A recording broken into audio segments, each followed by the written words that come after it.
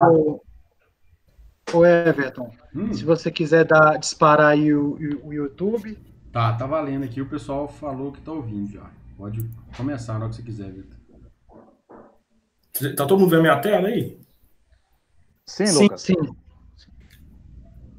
Bem, damos início à defesa do exame de qualificação do aluno Lucas Santana Xavier, né, é, orientado por mim, professor Victor, e orientado pelo professor Everton.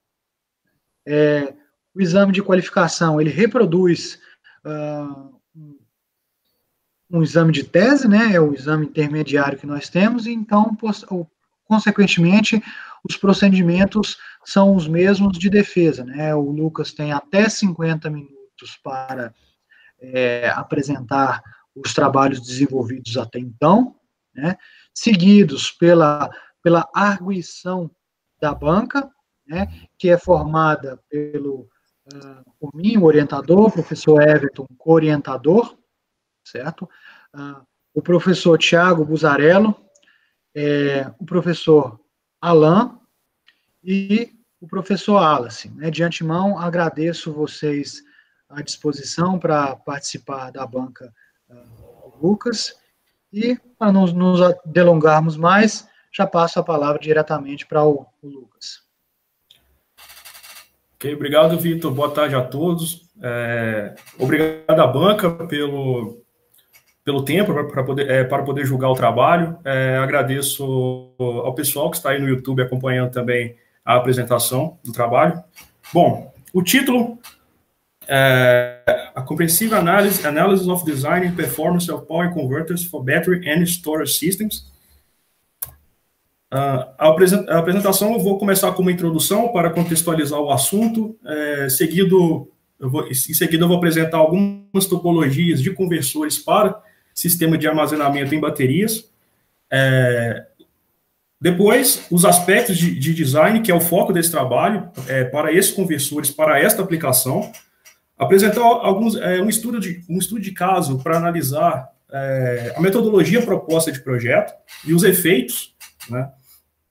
É, resultados é, preliminares da bancada experimental também serão mostrados, e finalizando com algumas conclusões do trabalho. Bom, no mundo tem se aumentado o número de instalações de sistemas de, de, de armazenamento de, de, energia em baterias, na, é, no qual eu vou me referir como BES, é, como mostra essa figura. Né? Pode perceber anos, é, ano após ano, é, é anos um aumento, e principalmente é, um destaque aqui para os anos entre 2017 e 2018, um forte aumento. É, uma explicação para, para este aumento pode ser justificado devido ao aumento do uso de fontes de geração é, de energia renováveis, né? É, é, como, por exemplo, a, a, geração fotovoltaica, como pode ser visto aqui, o crescimento ano após ano também na sua utilização. Como todos sabemos, a, essas fontes renováveis, principalmente a fotovoltaica, ela tem a característica da geração intermitente, e isso pode gerar alguns problemas é, é, para a rede, é, como, por exemplo, variação de tensão. E pode-se utilizar o BS para poder mitigar esses problemas. E não só isso, o BES ele pode executar vários outros tipos de serviço, porque notem que temos uma fonte de potência que permite fluxo bidirecional de potência ativa na rede, podemos trabalhar com circulação de reativo, podemos trabalhar com harmônicos. Uh, então, grande parte dos serviços de rede, de rede podem ser executados por esse sistema. Mas antes de fazer todo esse, esse, esse aqui, é, aqui nessa figura eu listo é, alguns, alguns desses serviços linkados àquela unidade que vai se beneficiar mais diretamente né, para determinado serviço. Então, tem, por exemplo, aqui o BES, eu tenho a unidade consumidora, é, com seus serviços atrelados, por exemplo, o PicShare. Eu não vou entrar em detalhes do serviço, mas está descrito na, no texto. Tenho as fontes renováveis, eólica e fotovoltaica, por exemplo, e seus serviços atrelados. E eu tenho a rede aqui com o maior número de serviços atrelados. Então, na, é, na, é, é, é naturalmente, a, a, a rede, não, desculpa, a concessionária. Né? A concessionária ela é uma das mais interessadas é, em ter esse sistema conectado na rede. Mas antes de realizar todo esse tipo de serviço, pontos importantes precisam ser considerados como projeto é, do sistema de armazenamento de energia, do BES, tais como é, é projeto é, e também operação e manutenção. o foco desse trabalho está na parte de projeto e mais especificamente na parte do projeto do Power Conversion System, do PCS, né, que é responsável por converter a energia em corrente contínua em energia alternada para a conexão da rede. Mas qual que é a motivação desse trabalho? Bom, nos últimos anos tem surgido vários artigos, várias pesquisas científicas apontando e comparando principais tecnologias esse, é, de conversores para este tipo de aplicação. Né? Notamos vários artigos publicados em revistas importantes e recentes.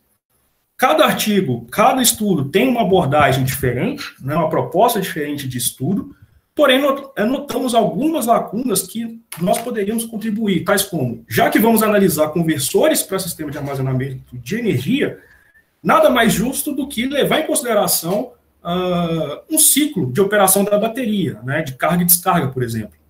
É, coisas que esse, esses trabalhos não abordaram. E também o impacto do uso de um estágio CCCC nesse tipo de aplicação, né? Qual o, o, o a, a, as vantagens e as desvantagens que podem estar atreladas a isso. Então, o, as, contribuições, as, as contribuições desse trabalho são fazer uma revisão bibliográfica apontando as principais é, tecnologias de PCS para sistemas de armazenamento de energia em baterias, para BES, né? É, propor uma metodologia para considerar a variação de tensão das baterias no design do PCS e o impacto disso na eficiência do sistema, e comparar é, a relação custo-benefício usando conversores CC e CC de diferentes arranjos né, para esta, é, para esta aplicação. Esse trabalho está inserido no projeto de P&D, de Pesquisa e Desenvolvimento D722, análise de arranjo técnico, é, técnico e comercial baseado em uma planta piloto de sistema distribuído de armazenamento de energia em, em, em alimentador crítico da rede de distribuição de 13.8 kV. Eu vou fazer agora uma revisão das principais topologias de PCS. Tá? Essas topologias elas são abordadas por recomendações é, é, normativas para esse tipo de aplicação tais como a I3E 2030 2.1. Ela é abordada em diversos estudos de pesquisa e também no mercado várias soluções são ah, encontradas com esse tipo de, de, é, de, configuração de PCS. O primeiro é a, topo, a, topologia de um estágio, somente com estágio DCAC. Né? É a topologia, a grande vantagem dessa topologia aqui, como vocês podem ver, a topologia mais simples que podemos ter, é somente um inversor. Desta forma, as baterias são conectadas diretamente no barramento, no, no, no DC-Link deste inversor. Porém, tem algumas desvantagens quando você faz isso. Né? A primeira é que as chaves do meu inversor ela vai estar sujeita a toda a variação da tensão da bateria, que as baterias vão impor durante o processo de carga e descarga. É, outra desvantagem é que nesse tipo de configuração encontra-se é, normalmente o maior número de baterias em série, porque temos que atingir uma tensão mínima no barramento CC, que depende da tensão da rede, para poder fazer a conexão. Então, normalmente encontramos várias baterias em série. Isso pode trazer problemas, né? Por exemplo, se uma, se uma célula de uma dessas baterias falha, toda a string é comprometida caso não exista algum circuito de bypass. É, e se conversor, e se o inversor também falha, todo o sistema deixa de operar. Podemos contornar isso associando, é, dividindo o banco de baterias, se possível, se possível, em dois ou mais inversores, né? Fazendo um sistema múltiplo, múltiplo é, conectado em paralelo. É, vários power packs, vamos dizer assim. A vantagem é que se um, se um conversor de um ramo aqui falhe, podemos operar é, parcialmente ainda o sistema. Temos os conversores, os PCS com dois estágios, né, onde acrescentamos um estágio DC-DC. É, nesta configuração, podemos associar menos baterias em série devido à característica elevadora da tensão deste conversor, né, isso, associamos menos baterias em série, podemos colocar mais baterias em mais strings, né, em paralelo. É, porém, ainda que agora temos o problema que a desvantagem que se um desses conversores falham, também o sistema deixa de operar. Podemos fazer da mesma forma e é, colocar vários sistemas em paralelo. Né? A desvantagem desse sistema é o, é o alto número de chaves utilizados, né? são chaves para o conversor SCC, para o conversor é, DCAC, temos indutores, os, os, componentes passivos envolvidos também, então o número de componentes aumenta consideravelmente. Podemos chegar a um meio termo utilizar dois conversores DC-DC em paralelo e um inversor. Né? É, é, aqui nós conseguimos reduzir um pouco o número de componentes é, é envolvidos, né? E ainda mantemos aqui, é, é, conseguimos distribuir as baterias entre esses conversores. Podemos trabalhar com tecnologias de baterias diferentes em cada conversor, então abre um grau de liberdade maior de operação, né? Podemos também fazer a, a ligação em série desses conversores DC-DC. Né? A ligação em série, ela permite a divisão de tensão aqui entre os conversores DC-DC, e isso permite colocar menos baterias em série ainda, ou trabalhar com uma razão cíclica mais baixo desses conversores. Eu vou entrar agora na parte dos inversores e apontar as principais tecnologias de eletrônica de potência de conversores que podemos utilizar para cada estágio, tanto DC-AC como DC-DC. Vou focar agora na parte DC-AC, né? É, temos algumas topologias muito utilizadas. A primeira delas que eu vou falar é do Voltage Source Inverter, né, que é uma topologia bem tradicional, onde temos aqui uma fonte de tensão conectada numa ponte H, né, para ser realizada a conexão com uma rede. Nesse tipo de, de conversor, a desvantagem, não diria a desvantagem, mas uma tensão que teria que ter é que a fonte de tensão tem que ser maior do que a tensão da rede, né, para a gente poder fazer a conexão e garantir o fluxo de potência. Podemos utilizar dois outros conversores, que são o Z-Source Inverter e o Quasi-Z-Source Inverter, né, no qual eu tenho um circuito com componentes passivos aqui no barramento CC, no qual é, é denominado fonte de impedância. Né. E a grande vantagem deste circuito é que eu posso utilizar fontes de tensão menores do que a tensão é, da rede, né, porque eu tenho um ganho, esse ramo, de, de, de, de esse ramo extra que tem é, de, de, de, componentes passivos consegue elevar a tensão e evitando o uso, né? Você não precisa utilizar um conversor DC-DC para fazer esse trabalho. Só que aqui, em relação ao V-Source Inverter, tem um aumento aqui do número de componentes envolvidos, o controle também fica, é, tem umas características mais específicas, né? Eu tenho as topologias, aquelas topologias são as topologias dois níveis que eu falei agora, né? Temos as topologias três níveis, Uh, os conversores tradicionais são o NPC, o Neutral Point Clamp, né, no qual eu tenho é, chaves associadas aqui que dividem a tensão com que, que, cada chave opera. Desta forma, eu posso usar classes de tensão menor para trabalhar num nível de rede maior. Né? É, aqui eu tenho um grampeamento da tensão com diodo nas chaves. O grande problema aqui é fazer o balanceamento da tensão nos capacitores nas chaves utilizando o diodo. Propostas alternativas para resolver isso é o fly capacitor, no qual utiliza um capacitor para fazer este, este balanceamento, só que esse capacitor precisa ser pré-recarregado, né? E posso utilizar chaves eletrônicas para fazer esse mesmo balanceamento. Só que aqui, eu, obviamente, eu estou aumentando o número de chaves aqui envolvidas no sistema. Eu tenho as topologias DC-DC inverters, né? De, desculpa, as topologias multiníveis, é, que, que, vem crescendo muito a utilização dessas tecnologias, o professor Alan conhece bem essas topologias. Temos a, a topologia, é, a ponte H em cascata, onde associo várias pontes, é, ponte H e fecho elas em estrela ou em delta. E tem o modular multilevel converter que é, associa-se várias é, meia pontes, vamos dizer assim, é, de forma a formar um, um, conversor de mais níveis, né, tendo um ponto comum aqui no, barra, no, no, no DC Link, no barramento CC. A vantagem dessas topologias é elas são extremamente. É, é, é, tem uma, uma, uma, tolerância à falta muito grande, né? É, como se um conversor desse falhar, uma célula dessas fa, fa, falharem, o conversor pode ser é, é, colocado para operar parcialmente, né? E a eficiência desses conversores também são. A alta eficiência é uma característica destes, destes arranjos, né? Então, eu listo aqui as três topologias que, que eu discuti, né, e coloco aqui uma relação, então, conforme eu vou aumentando os níveis aqui, eu vou ganhando tolerância à falta, eu vou ganhando eficiência, mas eu levo também a complexidade, tanto de hardware como de controle de software, né. É, quando que esse caminho para a direita compensa? Conforme eu vou aumentando a potência de trabalho. Então, esse caminho compensa ser seguido. Neste trabalho, é, eu vou utilizar, é, eu, eu, eu, eu vou utilizar o Voltage Source Inverter devido à simplicidade e o grande ainda uso, é, tanto de estudos científicos, como também de, de, de utilização prática também. Né? Então, eu vou, é, o foco desse trabalho vai ser no VSI. É, agora eu vou apresentar algumas topologias de conversores DC-DC para o estágio, né? É, é, para o segundo estágio. É, bom, Topologia bastante utilizada para BES é, é, a topologia de meia ponte, no qual eu tenho é, duas chaves e um indutor né, na, na entrada deste conversor. É, ele pode operar elevando ou abaixando. Todos esses conversores que eu vou apresentar têm essa é, característica que o BES exige isso, né? Eu preciso descarregar e carregar as baterias.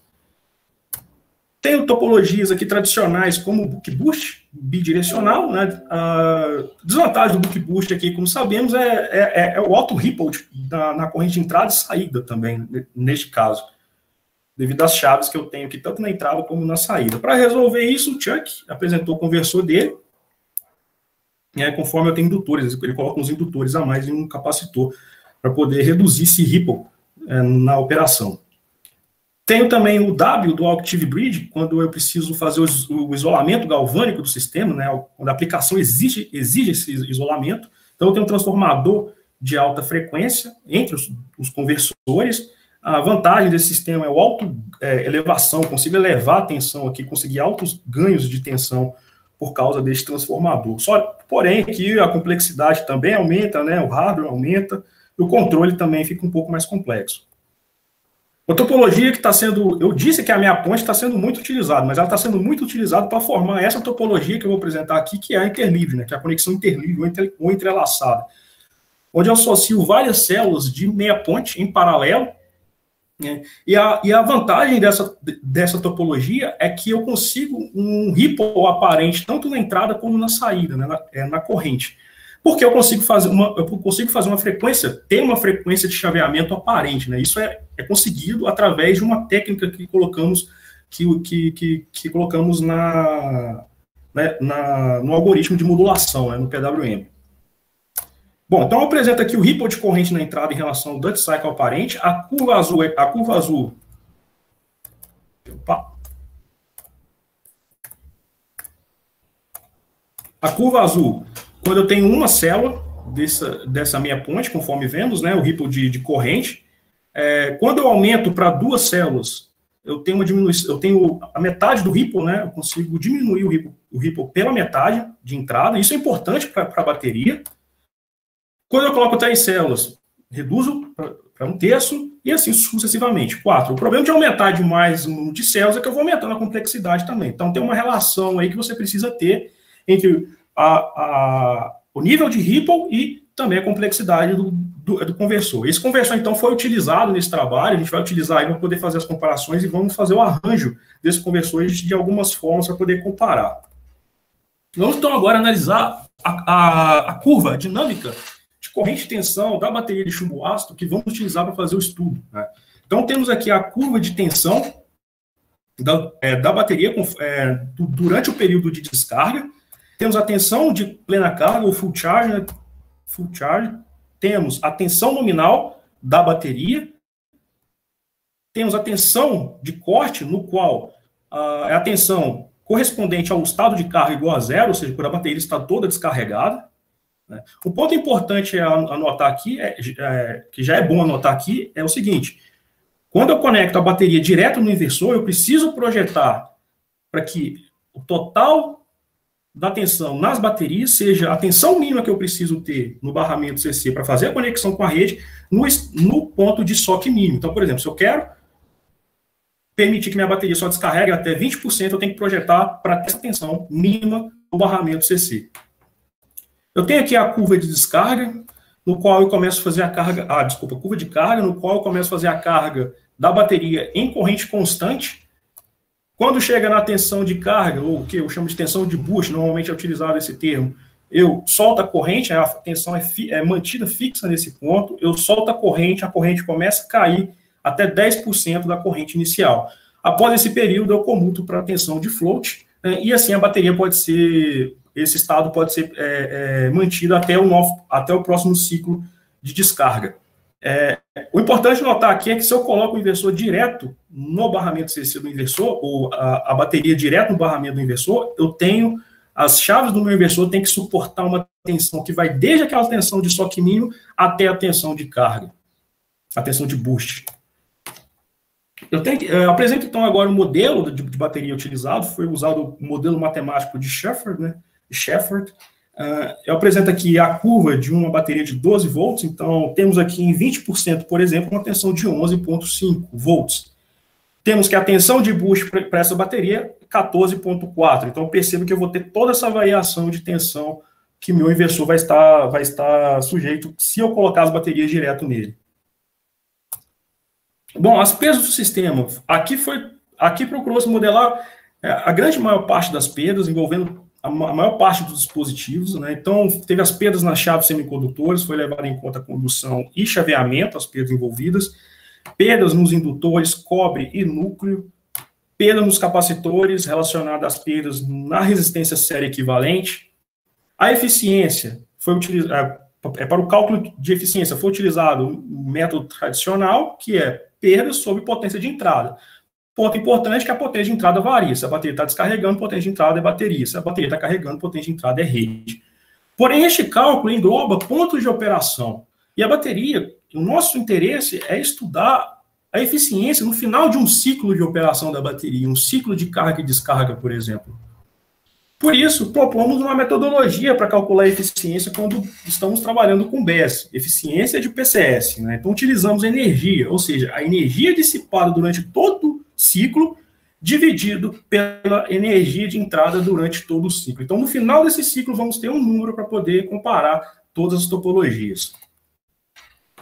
É, aqui eu vou apresentar a, a, influência, então, da variação da tensão no projeto das chaves, é, é, quando, principalmente quando eu coloco as baterias conectadas direto no inversor. Né? Então, a tensão no barramento CC, quando eu faço esse tipo de conexão, ela é igual ao VDC mínimo, que é igual à tensão da rede mais uma reserva, que aqui foi utilizada como 4%, vezes um, uma constante. Ela vai ser 1 quando eu tenho conversor DC-DC, ou seja, quando eu consigo controlar o barramento em um valor fixo, e varia de 1.2 a 1.3 quando eu não tenho conversor DC-DC. Então, é, esse, é, essa variação ela depende muito das características da bateria que eu, que eu estou utilizando. Normalmente tem esse, esse é, ela, ela, está nesse range aí para, para baterias de chumbo ácido. Esta variação de 1.2 e 1.3 é justamente aquela diferença de tensão que eu mencionei anteriormente, entre a tensão de soque mínimo e a tensão de boost.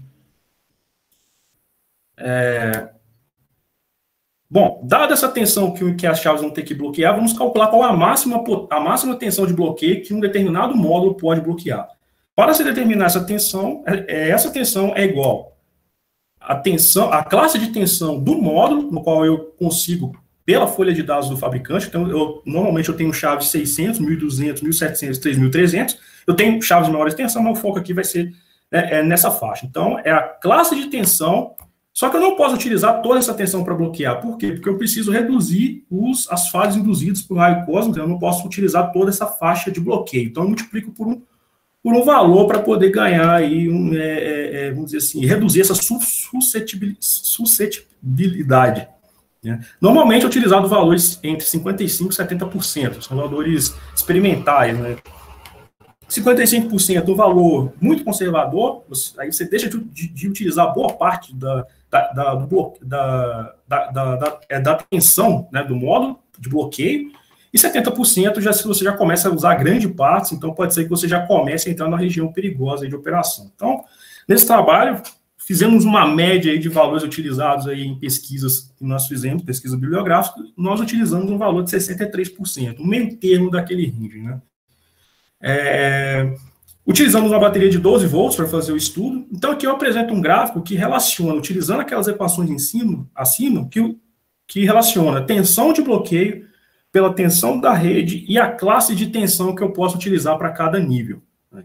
Então, tenho aqui essa curva amarela. Essa curva amarela é para quando eu uso, eu, eu, uso um conversor DC-DC, então é a curva de VDC mínimo, vamos dizer assim, né? Eu tenho essa curva vermelha, que é a curva quando eu uso a bateria, a, é, eu uso a descarga da bateria até o SOC de 20%. Né? Então, eu tenho esse aumento na curva, ou seja, meu inversor vai ter que bloquear uma tensão maior, porque eu, tenho, eu vou ter que associar mais baterias em série pra, é, para alcançar o VDC mínimo em 20% de SOC. Curva azul, quando o SOC é igual a zero. Então, curva vermelha, SOC igual a 20%, quando eu, uso, quando eu não uso conversor DC-DC, e curva azul, 0%. Claro que é um valor teórico, você não vai descarregar sua bateria até 0%, mas é para a gente ver quanto que é, quanto que representa essa variação. Então, vamos pegar, por exemplo, uma rede de, 300, de 380 volts. 380 volts, consigo usar chaves, chaves de 1.200 volts, né? Está no limiar ali, mas ainda consigo utilizar é, para ambos os casos. Já utilizando uma, uma tensão de conexão de 690 volts no lado AC, eu já começo a ter, para o caso de, de com conversor DC-DC, eu posso usar uma chave de 1700. Porém, com, a, é, com um, um, sem conversor DC-DC, eu já preciso usar uma chave de 3.300 volts, né? Eu já caio na outra região. Então, essa é a influência da variação de tensão na, que, que, que, a bateria vai influenciar, desculpa, na, no, é, no projeto das chaves do inversor. Vamos é, entrar agora na parte de. Indo ainda a parte de projeto, mas agora a parte de, de, de controle, né, da estrutura de controle. Essa é a estratégia utilizada para o sistema de um estágio, onde todo o controle é, ele é centralizado no controle do inversor. É, então, temos a malha de, de, de descarga, né, no qual é, está algum serviço de rede associado.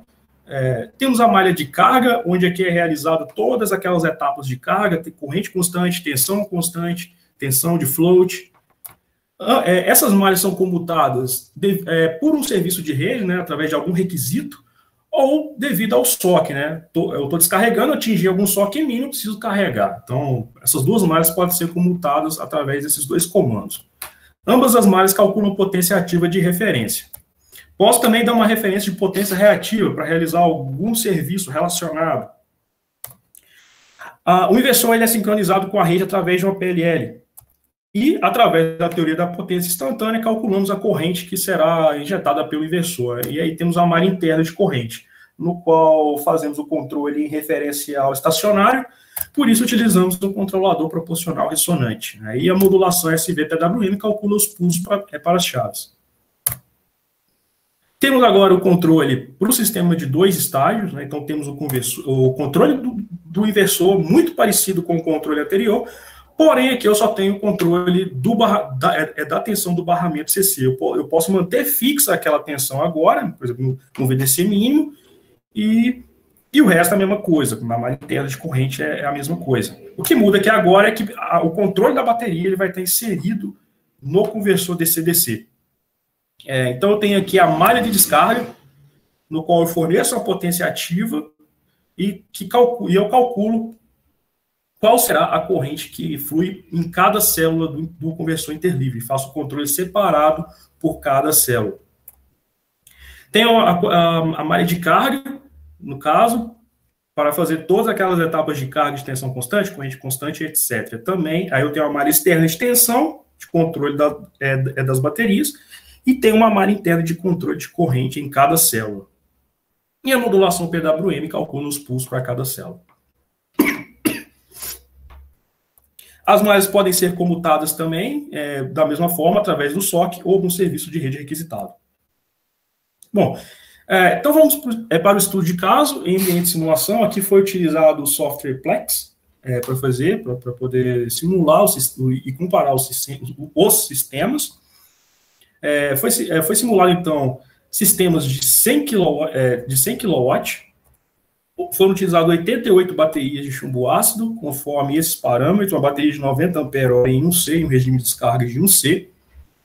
É, parâmetros de tensão estão listados nessa tabela também. E os outros parâmetros do sistema. Escolhemos fazer o teste para aquele caso extremo, 690 volts. Só que, é 690 é, é volts do lado AC, desculpa. Só que mínimo durante a descarga, 20%, conforme eu já mencionei. PDC mínimo, 1015 volts, de acordo com, aquela, com o estudo anterior também, chegando nesse valor de 1015 volts. É, frequência de aviamento do inversor 6 kHz, frequência de aviamento do conversor DC-DC 12 kHz. Bom, topologias que serão aqui comparadas de PCS. Topologia T1, é bom associar o nome aqui, porque agora eu vou me referir sempre T1, né? Então, topologia T1. T1 é um estágio, somente um inversor. Baterias conectadas direto no inversor. Neste caso, eu sou forçado a conectar 80, as 88 baterias em série para poder ter aqueles 1015 volts lá é, em soque de 20% durante a descarga. Então, 88 baterias em um string. Como já vimos, 690 volts, preciso, preciso usar uma chave de 3.300 volts para esse conversor. Topologia T3. Eu tenho um estágio a mais, o estágio DC-DC, conversor DC-DC interlivre com três células. Posso utilizar chaves de 1.700 volts em cada conversor, porque agora eu consigo manter mínimo o meu barramento CC em 1.700 volts e associar menos baterias em série. Então, eu tenho uma redução da tensão das baterias. E coloco, então, eu tenho quatro, é, 44 baterias em série em duas strings. É, T5, tenho um inversor e dois conversores interlivres conectados em paralelo. Novamente, posso desmembrar aquelas baterias agora em duas strings e cada conversor ter 44 baterias em série. É, classe de tensão 1700 volts para, é, para ambos. E os, e, os conect, e os conversores CC em série. Né? E aqui eu posso ir além, colocar menos baterias em série e reduzir a tensão de trabalho. Posso ter agora 22, porque eu somo a tensão na saída dos conversores chave de 1.700 volts também para suportar a tensão mínima controlada no barramento CC. É, então, aqui temos o, ponto de operação dos conversores. Né, o tempo de descarga foi considerado aqui um tempo equivalente a uma hora de, de, de descarga. É, como pode ser visto aqui no SOC, então, em todos, todos os bancos, de todos os arranjos, eu saio de 100% até 20%. Depois eu começo a carregar, eu só aqui começa a aumentar até 100%, e tem as etapas. Então, é, por exemplo, eu tenho para T1. Começo em corrente constante, depois alterno, inverto o sentido da corrente, conforme esse primeiro gráfico, e aí eu faço todo o processo de carga. Ponto importante aqui, variação de corrente entre carga e descarga. É, aqui eu estou descarregando em 1C, tá? Para todo mundo. Carga e descarga. É, variação 120 amperes. Variação de tensão do SOC mínimo até a tensão de Bush, 252,25 volts. T3, eu tenho uma variação maior de corrente, porque eu preciso aumentar a corrente, porque o número de strings é o dobro do caso anterior. Então, tenho uma variação de 240 amperes. Porém, eu tenho uma redução da variação de tensão é, na, é, das baterias, porque agora eu tenho menos baterias em série, então 126,11 volts. T5 eu volto a ter a menor corrente, eu volto a ter a menor corrente de, de variação em relação aos demais, 120 amperes, por quê? Porque agora eu desmembrei as strings em dois conversores em paralelo, então tem uma menor variação de corrente. É, e também eu tenho aqui a variação de 126 volts, né? 126.01 volts de tensão. T6, eu volto a ter a maior variação de corrente, porque agora eu tenho 22 baterias em série e duas em paralelo, conversores CC em série, e tem uma menor variação de tensão, que agora eu tenho menos baterias em série, então 63.04. É... Então aqui vamos analisar a eficiência conforme uh, os pontos de operação durante a carga e durante a descarga. Então o primeiro gráfico é a eficiência na descarga. Então, é, neste caso, é, o, o, o, inversor T1, né, o, PC, o, é, o PCS T1, que é aquele que só tem um inversor, teve a maior eficiência. É, mas calma, isso pode mudar. é esperado, mas pode mudar. É, T3, que é aquele com dois estágios, apresentou a segunda eficiência, e o T5 e T6 ficaram ali com, com eficiência um pouco menor em relação às demais e bem próxima uma, uma da outra. Falei que poderia mudar e mudou. T1 agora na carga, esse aqui é o gráfico de carga é, como na carga normalmente ela é feita uma potência menor do que a descarga, ela é feita menor do que a potência nominal, eu tive essa mudança, essa inversão de eficiência. Então, T1, devido à chave de 3.300 volts, ela teve uma eficiência pior em relação aos demais. Então, T1 ficou com, com, com, a, com a eficiência mais baixa e os outros conversores ficaram com uma eficiência um pouco mais próxima ali, vantagem para T3, que é aquele que eu tenho um estágio DC-DC e um, e, um, e um inversor, ou seja, um sistema monolítico mesmo, né? É, bom, só que aqui então nós temos pontos de operação, né, eficiência. E se somarmos, fizermos algum índice para poder representar em um número todo esse processo, como propomos. Então vamos utilizar aquele, aquela eficiência global baseada em energia. Considerando a carga e a descarga em um C, podemos ver que T1 realmente apresentou, porque normalmente a, a, a descarga ela apresenta um, uma energia envolvida maior, apesar de ter uma potência é, maior, mas ela, é, ela tem uma duração maior, né? então a energia envolvida ela é maior, então pesa no cálculo da eficiência global. Então, neste caso, T1 igual a 92,72, vantagem para T3, 93,25. E as outras, em seguida, as outras topologias DC-DC. Né? Então, T1 apresentou o menor valor de eficiência nesse caso. Aqui eu fiz um outro estudo, ou seja, é, considerando um, uma descarga em, em, em, um regime de 0,1C, né? ou seja, em 10 horas. É, uma energia maior envolvida, né? então T1 novamente teve desvantagem. T1 90%, 90, 90 por 95%, T3 ainda mostrou ser mais vantajoso neste caso. Né? Um, um, uma, uma, variação aí quase de 2,5 pontos percentuais considerando o mesmo processo de carga aqui. Então, agora vamos para o custo envolvido para cada, cada topologia. Aqui eu vou, eu vou fazer uma, é uma análise de custo, mas não é para falar para você o quanto você pode esperar se você chegar lá para comprar um conversor desse. Não. A intenção aqui é fazer um, um, estudo, uma análise comparativa entre os conversores, tanto que eu utilizo, eu utilizo como unidade no custo PU, o PU, por unidade, né? mantendo fixo o T6, ou seja, a, a base T6. T6 é a base é igual a 1 PU, o preço, o custo, desculpa. Então, sim, o T1 apresentou o menor custo por ter menos chaves envolvidos, né?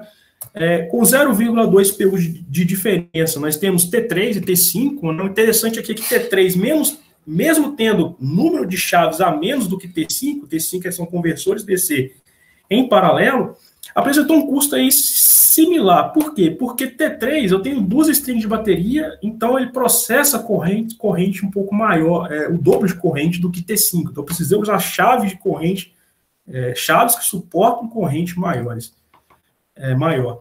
É, então por isso que ficou é, equilibrado esses dois, esses dois custos. T6 apresentou aí um, um, um custo bem maior do que as outras topologias. Aí já vamos para 0,4 de diferença. Por quê? Porque no T6 eu utilizei a mesma chave de T3, porque eu tenho duas strings também. Só que eu tenho o dobro de conversores. Então, de, de conversor DC, eu tenho o dobro. Então, eu tenho o dobro de chaves de, é, de conversor DC-DC. Então, por isso que eu tive esse, esse, esse aumento de T6 em relação aos demais. Então, o arranjo de baterias influenciou no custo, né? É, vamos para os os resultados preliminares da bancada experimental na qual foi construído em uma parceria entre a Unifei e a UFMG, o laboratório da, da Unifei de Tabira, do professor Clodoaldo, e o laboratório aqui do LCCE do professor Vitor, né, uma parceria. É, bom, então temos aqui a bancada experimental, como, como pode ser visto nessa figura, temos a, o painel onde está o PCS, e temos as baterias, é, o banco de baterias. O PCS ele tem essa configuração, né? Este é o esquemático, ou seja, temos dois inversores conectados em, em que, pode ser, que pode ser conectados em paralelos no lado AC. Temos dois conversores DC-DC independentes, né? Com três células, interlivre com três células. E aqui no barramento CC nós temos nós nós temos um circuito aberto. Por quê? Porque podemos configurar esse conversor para ter todas as configurações que discutimos nesse trabalho. Né? Então temos um grau de liberdade aí para estudar bem, bem, é bem amplo. Então, temos a estrutura de potência, é, como nessa figura tem os conversores, os filtros, os, os componentes dos filtros, indutores, é conversor para fazer a festa aí. É, elemento para fazer a festa aí. Nesse lado, temos é, estrutura de controle, né? É, cada par de conversor e inversor é, tem um kit de controle, né? tem um kit de placa de condicionamento de sinais e cada kit tem um inversor, um, uma DSP F28379D, onde foi programado o controle. É, bom, o sistema que eu, que eu simulei, que, que eu simulei, desculpa, que eu, que eu que, que nós implementamos na prática, né, pra, é para esta apresentação, para este trabalho de, de, de qualificação, foi a topologia em paralelo, ou seja, dois conversores DC-DC em paralelo e um inversor para conexão com a rede. 16 baterias em série em cada, em cada conversor. É, o, os parâmetros do sistema podem ser vistos nessa tabela aqui. Ó. Então, temos uma tensão de rede 220 volts, bateria, o modelo utilizado foi a 12MN36 da Moura, bateria de no break, é, tensão da bateria nominal 12 volts, frequência de chaveamento 9 kHz, e a, do, do, inversor e frequência de chaveamento do conversor DC-DC o dobro, 18 kHz. Né? É, então, aqui, vamos, é, vamos começar com os resultados preliminares. É, primeiramente, variação de tensão no barramento CC para validação do controle do inversor. Então, eu tenho o primeiro caso aqui, onde eu venho com uma tensão de 320 volts e faço uma variação em rampa da referência para 400 volts. Né? Então, perceba a mudança entre os dois níveis. E no segundo está, e no segundo momento eu faço uma, eu, eu, eu estou ainda no 400 volts e faço uma variação em rampa é, para 500 volts, né? Então podemos ver em regime permanente um erro bem pequeno entre a referência e o medido no osciloscópio. Aqui, aqui está sem filtro no osciloscópio, tá? O sinal está na amostragem do osciloscópio mesmo. Então, em regime permanente aí, um valor é bem próximo da referência, um sinal medido bem próximo da referência. É... Bom, temos aqui agora o processo de descarga das baterias, então, dos dois bancos de bateria. Então, temos aqui é, é, os sinais de corrente. Então, eu faço uma variação no banco 1 de 5 amperes até, até 15 amperes em rampa também, como pode ser visto nessa, né, é, nessa curva azul. Né? É, em segundo momento, eu faço a variação do segundo banco de bateria de 5 amperes para 15 amperes. Então, como pode ser visto. E aqui a corrente trifásica que está sendo injetada na rede. Né? Então, perceba a corrente trifásica e o espectro de corrente mostrando baixo teor, a é, é quantidade de, de, de, frequências harmônicas, né? E uma frequência fundamental de, de 18 amperes. Eu tenho agora aqui o, o processo de carga da, da, das baterias, então eu venho com a bateria descarregando em 15 amperes e tenho uma comutação para o estágio de carga, né? Eu comuto ela ali no, no, meio do caminho. É, então eu faço a variação de 15 para menos 5 amperes. Normalmente, normalmente não, é, é, é, é normalmente a, a, corrente da bateria, como eu já falei, ela é menor, a especificação máxima dela é menor do que a, a potência nominal. A, potência, a corrente máxima dessa bateria de descarga é de 7 amperes. Aqui eu utilizei 5 amperes para poder ficar um pouco abaixo aí por questões de segurança. Não é diferente para o segundo banco, eu faço essa comutação também. Venho 15 amperes e comuto para, para, para o modo de carga em menos 5 amperes. Então, tenho aqui a, regime, a corrente trifásica em regime permanente durante a carga das baterias. É, de novo, ele mostra o espectro de corrente, né? Então, como eu falei, menor potência envolvida, então a corrente aqui 9 amperes durante, é, durante a carga. É, aqui agora eu tentei pegar um, um, é, um tempo maior de carga para a gente poder ver se, se, a bancada está apta a fazer a carga e descarga das baterias. Então aqui eu coloquei uma descarga em, é, mantendo fixa nos dois bancos de bateria 10 amperes de descarga por 55 minutos. Eu utilizei o próprio circuito de condicionamento de sinal de controle para poder pegar essas, esses sinais, né? É, o ideal seria fazer, utilizar um sistema de aquisição de sinal específico e mais preciso para poder fazer esse tipo de análise, mas é, como, como, são resultados preliminares, foi utilizado o próprio sistema de controle. Então, 10 amperes fixo durante a descarga nos dois bancos, tensão da, da, da, é, da, bateria diminuindo, né, conforme eu vou descarregando aí, mostrando o mesmo efeito lá na, no resultado de simulação. É, carga, né, a carga agora mantendo fixa em 5 amperes nos dois bancos, corrente constante, e após esse período, após a, tensão chegar na tensão de a tensão das baterias chegar na tensão de boost, a minha a corrente, eu solto as correntes, né, eu solto a malha de corrente, a, o controle de corrente, e aí a corrente vai diminuindo nos dois bancos e a tensão aí tenta ficar próxima aí da, da, da tensão de boost. É, é difícil controlar a tensão nas baterias, a tensão de boost aqui, é, eu reduzi um pouco nesse resultado por questão de segurança, por ser resultados iniciais ainda, então reduzi. Eficiência, eu peguei eficiência com, utilizando o vatímetro da Yokogawa, então na descarga eu consegui aqui uma variação de 84% para 85% a medição, e é, na descarga aí uma variação de 86,5% para 84,5%, né, tendo aí a eficiência como resultado é, é, preliminares. Então, algumas conclusões do trabalho. Então, esse trabalho propôs uma metodologia para comparar a influência da tensão da bateria em projeto de PCS.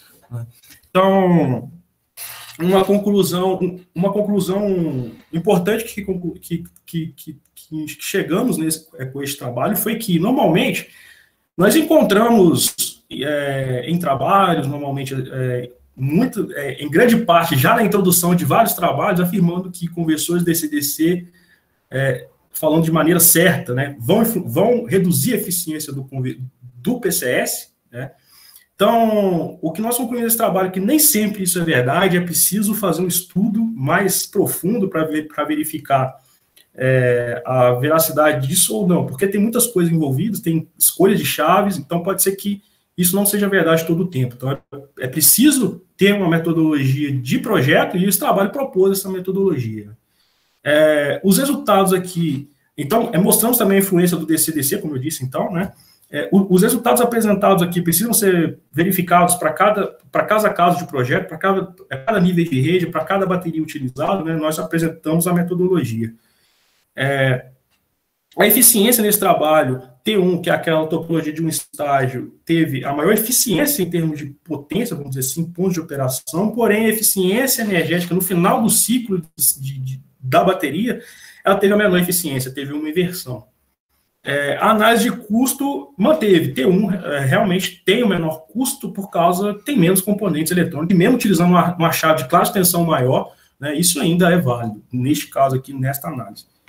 É, e conseguimos uh, alguns resultados é, preliminares na, na plataforma experimental, ela, ela mostrou que está, é, é, o, o, o, controle está é, realizando todos os estágios requerido, requeridos para descarregar e carregar, é, conseguimos trabalhar com reativo, apesar de não ter mostrado aqui, mas não consegui tirar os resultados é, preliminares bacanas de reativo, mas já está trabalhando também. Então, ela se mostra é, viável e, e adequada para a continuidade do trabalho. Pesquisas futuras, né? Então, é, fazer esse estudo para outros níveis de rede, talvez até, até para, é, talvez não, é para é outras tecnologias de bateria também, de, de, de bateria seria interessante. É, caracterizar esse, esse, todos os PCS na bancada experimental, ou seja, botar a bancada experimental para funcionar com todas as configurações que foram analisadas nesse trabalho e tirar esses resultados de eficiência para poder comparar com a metodologia e validar. É, e um, esse estudo ele serve de base, né? A gente está fazendo esse estudo como, como uma base para podermos propor um PCS é, capaz de operar nos três arranjos, é, de um estágio com dois conversores DC-DC em paralelo e com dois conversores DC-DC em série, ou seja, nós conseguimos fazer uma mudança de hardware e de controle para poder extrair a máxima vantagem, dependendo do ponto de operação do sistema, de cada, é, de cada configuração. É, fazer o design, o projeto e a análise do controle para este arranjo e fazer a validação experimental também, que aí já, já é uma, uma proposta é, final, né? É, mas estão sujeitos a avaliar o julgamento da banca para ver se isso está adequado, a crítica, né, e ver se tem alguma melhoria que pode ser feita, ou né, críticas em geral. Esse daqui é, é, é, é apresento para vocês a, a, o futuro da pesquisa, então, em cronograma, né, então temos aqui o, o, cronograma desde janeiro de 2021 até agosto de 2022, quando é o plano da, da, da minha defesa, então, novamente, é um, é um, cronograma inicial, mas estamos abertos aí a, a avaliação da banca em relação ao viável, ver se se o tempo está adequado. É, essa, essa, esse trabalho gerou uma publicação em revista, foi uma publicação inicial com resultados bem iniciais, foi uma publicação de revisão bibliográfica, os resultados aqui apresentados não foram inseridos, contribuí com alguns tópicos correlatos também, alguns trabalhos correlatos em, em publicação de revista também, é, e de congresso, o COBEP, né, no qual participamos também com trabalhos correlatos no tópico, em tópicos correlatos. Gostaria de agradecer a CEMIG é, e a CEMIG pelo apoio financeiro de, de equipamento de pesquisa, CNPq idem também pelo, pelo, pelo apoio. Eu agradeço também a ANEEL pela chamada pública do, do, do projeto, né, do projeto P&D. Então é isso, obrigado e vamos iniciar a discussão. Bem, obrigado, Lucas. É, Passamos agora para a segunda etapa de, da defesa. Foi, né? foi, foi, foi dentro do tempo. Sim, perfeito.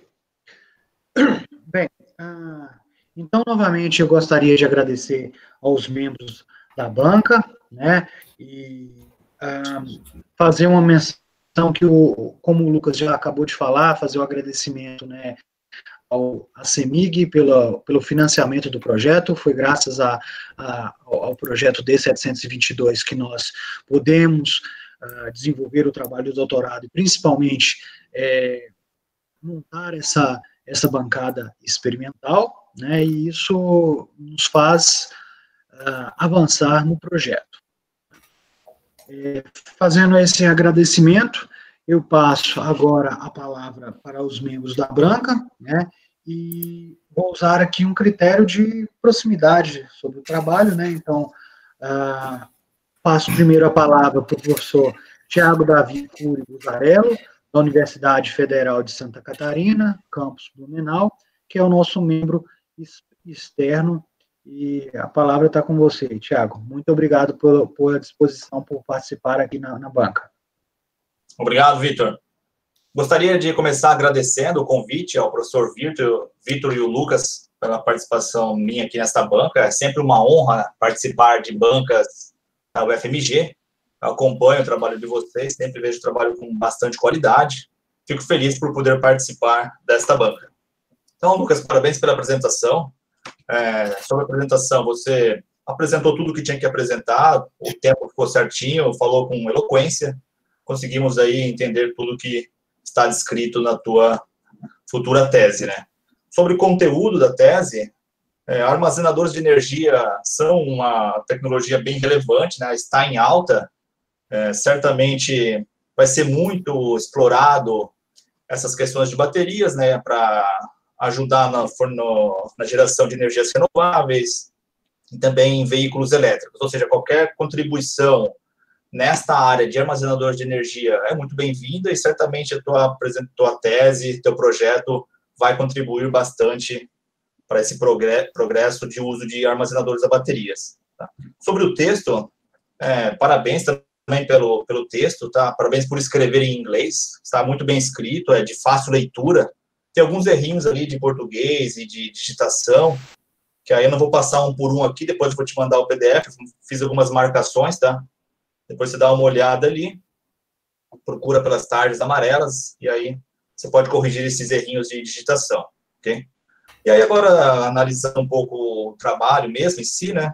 É, você analisa algumas topologias, é, logo no início você começa a falar sobre incluir o conversor DC-DC, aí começa a justificar né, que a bateria vai ter a tensão ali nos terminais da bateria vai ter variação de valor, e aí você começa a conduzir ali o leitor a usar o conversor DC-DC, e um dos motivos é que você vai ter que deixar de sair de um nível de tensão para os transistores do inversor para passar para outro, certo? É, isso geralmente não é um problema, tá? Logo no início ali eu percebi isso. Você ter uma variação de tensão no link CC e colocar um transistor, como você mesmo disse ali, um pouco superdimensionado, 1,5 vezes acima, ou até vezes duas vezes acima, não é um problema, certo? E aí, depois eu volto a essa discussão, mas é bom forçar ali no início que o uso do conversor DC-DC não só vai fazer você usar uma, um transistor com valor de tensão de bloqueio menor, mas você vai ajudar bastante a bateria. Vai ajudar na vida útil, vai ajudar na temperatura de operação dela, e você vai certamente diminuir o ripple da corrente, né? Comparando a topologia T1, por exemplo, com a T3.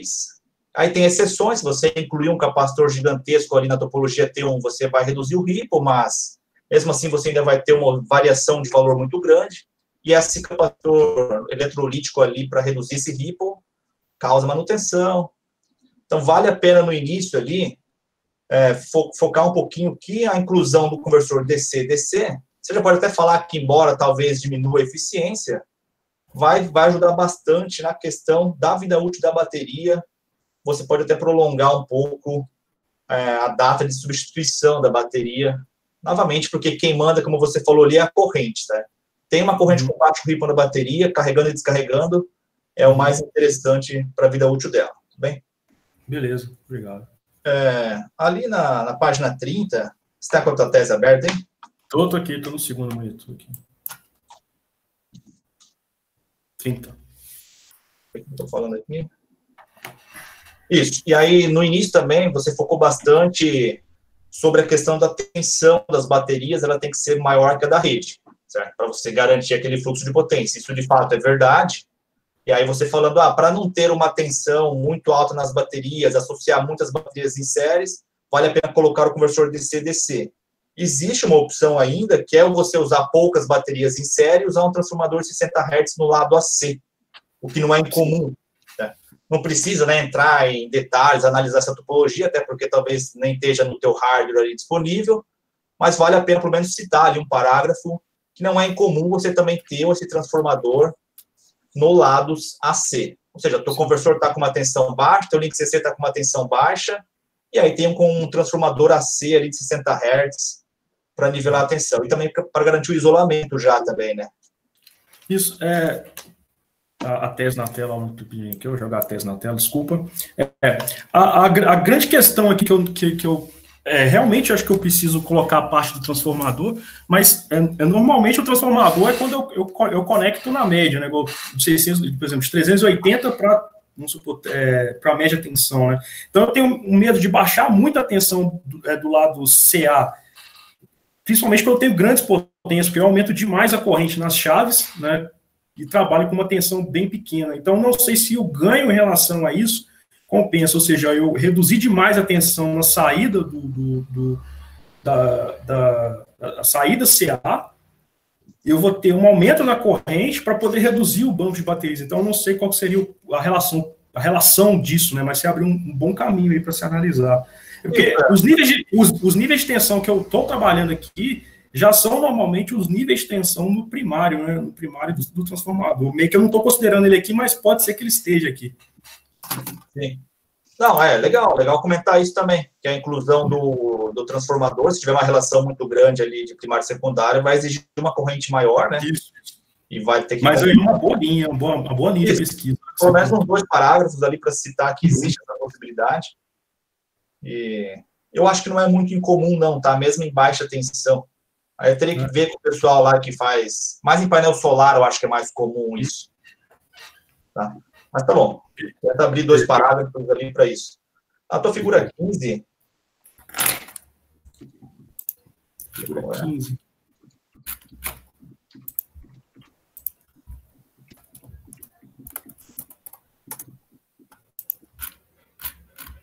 A do controle, certo, Tiago? É a estratégia de controle? Sim uma dúvida que eu fiquei é como é que você obtém o SOC já ali na tua, no teu hardware, experimentalmente. Você precisa desse valor para comutar essa chave, né? Então, é, bom, o SOC, ele é, na prática, eu ainda, vou falar a verdade, que eu ainda não implementei a estimação do SOC na prática. Na, é porque na, é, na simulação, eu implementei foi o método de, de contar mesmo corrente, o método de contagem, né? Que a gente tem o valor, a condição inicial da, da, do SOC das baterias, nós temos a condição inicial do ponto de operação das baterias. Então, utilizar o método de contagem é bem simples em simulação. Pensei em colocar esse mesmo método na prática, só que na prática é muito difícil a gente. Não é, vou, dizer, vou dizer que é mais complexo, a gente determinar a condição inicial das, é, das, baterias. Né? A gente precisa utilizar algum algoritmo, tem vários na literatura, desde é, é, filtro de Kalman, tem, tem algoritmos é, para poder estimar a condição inicial de SOC. Então, na parte experimental, eu não trabalhei com SOC, eu fui, eu fui, mais, eu fui mais controlando a, a, a, a, bateria pela tensão, né? E a tensão é meio que indiretamente, você pode meio que verificar através do, do é, da folha de dados da bateria, você pode que estimar me, meio que indiretamente o SOC, né? Determinar se a bateria está muito descarregada ou se está carregada. Então, é, é, realmente o SOC no experimental eu ainda não fiz. Na simulação eu utilizei, aí na simulação sim eu utilizei, aí foi o método de contagem. Não, tranquilo. Não, eu te perguntei porque realmente na, na prática isso é difícil mesmo. E o método de tensão, posso te garantir por experiência própria, como tem uma região ali bem linear, qualquer variaçãozinha da tensão pode variar 10, 20% do SOC. Ou seja, você fazer uma medição de tensão para obter o SOC, nem sempre é uma boa. Qualquer rio de medição ali de 1 milivolt, já começa a ter problema, certo? E a gente não consegue uma precisão tão grande, né, por causa do condicionamento, do sensor, etc. Mas fica também como uma sugestão é, dar uma olhada, ou pelo menos recomendar alguns trabalhos, né, que façam a obtenção do SOC de maneira experimental. Porque, de fato, no simulador é bem tranquilo, mas na prática, por experiência, é. experiência própria, eu sei que não é fácil. Tem valores iniciais ali, que cada bateria tem um valor, não é muito simples mesmo. E a mesma uhum. pergunta fica aí para esse embate. Essa corrente da bateria, você precisa também para chavear uma coisa no seu controle, e tem uma corrente instantânea, um valor médio, um RMS, isso passa por um filtro, aí mesmo... É, aí mesmo. E bate. Você fala aqui, cadê bate? Aqui. Ah, aí é. É um valor instantâneo. É, um valor... é esse daqui, esse daqui é, um, é um valor que é, é, como na bancada experimental. Na simulação eu não uso nada. Né, é valor instantâneo realmente. Na bancada experimental, eu, eu passo num, num média móvel para poder tirar lá uns ripple lá de, de, de alta frequência, para poder o meu controle não sofrer tanto com esses ripple, né, que, que acabam vindo, alguns, alguns ruídos. Aí eu, eu acabo utilizando uma média móvel na prática nesse bate. Ah, beleza. Talvez eu possa, possa especificar depois, colocar um que instantâneo a gente não usa porque qualquer Ripple já vai começar a chavear, né? É, é, é difícil demais. Aí, é tanto, é para falar a verdade para o seu, Thiago, tanto na corrente como na tensão, na tensão de todo mundo, tanto do barramento CC como na bateria, eu sempre utilizei um, ou um filtro passo abaixo de segunda ordem ou uma média móvel, porque é, fica muito difícil de controlar. Isso, é, destaca isso Sim. aí teria mais discussões, né? Porque tem a questão da velocidade de resposta disso, né? Mas isso a gente não precisa entrar no detalhe, mas pelo menos comenta, tá? Que uhum. foi utilizado um filtro de tal ordem, se for média móvel com buffer ou não. Uhum. É, foi com buffer. É, na tua página 52, que aí você começa a falar sobre o controle de corrente do inversor ainda. Sim. Eu reparei que você controla a corrente, é um LCL na saída, você controla Isso. a corrente do conversor do lado, do indutor do lado do conversor. Exatamente. Aí a pergunta fica, por que, que não foi a do lado da rede? No indutor do lado da rede. Então, é, poderia ser o da rede, é, é, é, é comum a gente ver trabalhos também, mas é, assim, isso é, é, a minha experiência do que eu vejo também em trabalhos, até na prática também, até conversores comerciais também, normalmente controla essa corrente de dentro, até por questão de proteção das chaves também, né? Você tem um controle direto disso, é, e aí você tem a maior segurança para acionar alguma proteção caso essa corrente é, exceda alguns valores. Então, é, é, eu particularmente, eu gosto, eu sinto mais seguro de controlar a corrente de dentro, mas nada contra controlar a corrente fora também. Isso, é. é essa, essa, é, essa que é a minha justificativa, sabe? Uhum é um pouco. Eu já penso um pouco o contrário, uhum. porque o teu, por exemplo, a parte do, do capacitor e do indutor vai estar livre para circular qualquer corrente ali se o teu controle nunca vai ficar sabendo. Imagine que vem uma corrente da rede, passa por qualquer coisa lá, e chega no teu indutor, no teu capacitor, entra numa ressonância. Como o teu sensor está no outro indutor, o que está acontecendo ali, o teu conversor nem fica sabendo. Aí, claro, tem várias discussões, né? Você precisa modelar mais daí para controlar, entre outras coisas. Mas também tenta justificar um pouco esse controle, mas esteja ciente que se acontecer alguma coisa no teu capacitor, teu controle nunca vai saber, né? Tem uma ressonância ali, pode queimar até o capacitor, acontecer alguma coisa ali, esquentar demais. E o teu controle sim. não está monitorando nada ali que está sendo conectado na rede, né? É, digo, entre o capacitor e o indutor esteja ciente disso, pelo menos, né?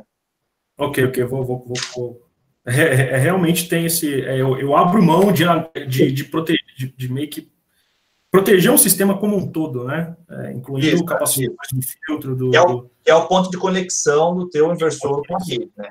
Então tem um trechinho ali que está desprotegido. E, em termos de modelagem, você encontra até no livro lá daquele série lá do pessoal, eles modelam o LCL só, só com, com, com um indutor. Uhum. O indutor equivalente, né? Aí a automodelagem continuaria valendo. Sim, sim, sim. Dentro lá da uma região de operação, depende também dos valores né, do LCL, entre outras coisas. É porque você desconsidera, normalmente você faz o projeto por, por 60 Hz, e como a, É né? coincidente ali, né? Isso, isso. É como se fosse um filtro L, né? Como se fosse a visão dos 60 Hz. Né? Talvez valha fosse... a pena dar uma olhada, se for teu interesse, aí do orientador também. Sim, sim. É, na tua equação 3.11 ali, vou tentar não me alongar muito aqui também.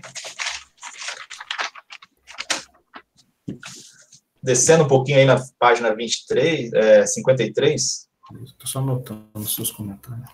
53? Isso. Eu tenho anotado aqui no PDF, tá? Se quiser, depois eu pode ler diretamente aqui, mas fica à vontade para anotar também. Tranquilo. É, página 3, é, equação 3.11. Este RF, sim. aí no denominador, é um valor, né? Sim, sim. Mas ali em cima, este RF é um RF de S, é uma função de transferência. Eu fiquei um pouco na dúvida que valor você usa. Ah, não, desculpa. Eu, eu acho que eu não explicitei, acho que eu não explicitei aqui Isso, o que seria esse RF. O RF. Oh, desculpa. Na 3.10, dá uma olhada na 3.10 ali. Ah, sim. Aí. É uma função, certo? Lá é um valor, é em qual frequência, é gama, é módulo, é em valores reais, valores absolutos. Na, na verdade, eu, eu, desculpa, é na, é, é, na verdade isso foi um erro, Tiago. É, isso aqui, é, o RF na equação 3.11 é a resistência equivalente do filtro. Ah, tá. Ficou é, foi, eu acho que eu chamei as duas coisas da mesma. Da, ah, isso foi um erro de, de, de, de, Como é que fala? Nomenclatura, né? Ah, beleza. Beleza? Isso foi um erro. Tranquilo. Ah, tá aqui, depois eu vou consertar. Obrigado pelo toque. Logo em seguida, você começa a modelar os controles, né? Projetar os controles. Eu fiquei com uma dúvida também. Aí a gente vai ter que voltar lá na figura do controle. Que aí eu vejo que você modelou um controlador PI número 4 ali. A gente voltar lá naquela figura, se não me engano, era 20, né? A 15. Uhum. Isso, ali embaixo, aí mesmo. É, uhum. Eu fiquei na dúvida desse controlador PI 4. Se uhum. existe a necessidade dele, para começar, né? Uhum. E se o erro dele realmente vai para zero. É, eu, eu, eu, uso, eu uso esse, esse, esse, esse PI para quê? Né? Porque. É, é, deixa eu só verificar aqui. C máximo, zero. Eu uso ele para quê? Porque eu preciso fazer o primeiro, o controle a corrente constante. Então, quando eu, eu, eu, eu começo a, a, a, a, a iniciar o processo de carga, esse controle começa saturado em. Isso, isso ele está saturando a potência, né? é, é, é, na verdade a corrente aqui, né? Então, eu começo com ele satura, é, é saturado em I máximo, né? porque a minha bateria ela vai tentar drenar é, é mais corrente para poder controlar essa tensão, tem uma dinâmica bem lenta aqui. É, enquanto isso, eu uso o, o, o anti-windap para poder é, não deixar o controle continuar integrando, fixo ali nessa corrente. Quando a tensão da bateria ela vai chegando próximo da tensão, de, ou seja, a referência vai chegando próximo da, da, da, da medida, esta é, o, o, o PI ele sai da saturação, né? Então a minha corrente começa a, a decair, ou seja, a corrente começa a, é, é, diminuir conforme a bateria vai demandando. Em simulação, sim, chega a zero em simulação. Na prática, eu não, eu, eu não consegui chegar ainda nesse ponto de corrente igual a zero. Vou falar a verdade. Se você ver lá os resultados experimentais, a minha corrente ela não chega a zero. Eu tenho que interromper, por quê? Porque como eu não tenho circuito de balanceamento de tensão nas baterias, um, de tensão nas baterias, uma bateria começa a ficar muito com a tensão muito elevada em relação à outra. E aí, por questão de segurança, eu meio que interrompo o processo de carga eu não consegui deixar ainda chegar em estado de, de, de é, em corrente igual a zero na prática. É, por isso que uma das propostas nossas agora é fazer um circuito de balanceamento de tensão para a gente poder ir além e fazer a carga das baterias de modo segura. Mas em simulação, sim, em simulação ela chega, ela chega, ela fica próxima de zero. Fica um pouquinho de tensão de, de corrente ali ainda para poder suprir as perdas. Mas ela fica bem próxima ali. Ah, legal. É, então, já aproveitando este comentário, como faz parte do teu trabalho você modelar, projetar os controladores, inclusive tem uma tabela lá com todos os valores projetados, uhum. seria interessante apresentar resultados, ali pode ser só de simulação, né, uhum. é, do erro, é, da tua referência e do sinal controlado, para ver se todos esses controladores que você projetou de fato estão indo para regime permanente, né, estão seguindo a referência, com erro desprezível, Uhum. Ou seja, você é, é. modelou o controle, projetou, a gente quer ver o sinal do erro e quer ver ele seguindo a referência. Não, exatamente, concordo, concordo. É, um, último, o, o, último comentário aqui, eu falo perdas em simulação, é a perda em resistência série. A única perda nas baterias que eu considero na simulação é aquela resistência série, né? Então ah, ela fica, a, a, corrente fica próxima ali de zero, mas não fica em zero por causa dessa resistência, porque ela tem essas, essas perdas aí que precisam ser. Sempre vai estar circulando. Isso, né? sempre vai estar circulando ali.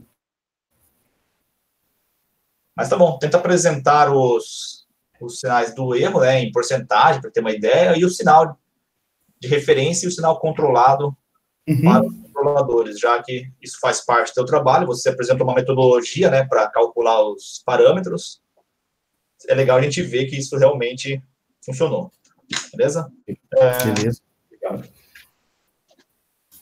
Na tua página 56, ali, na conclusão.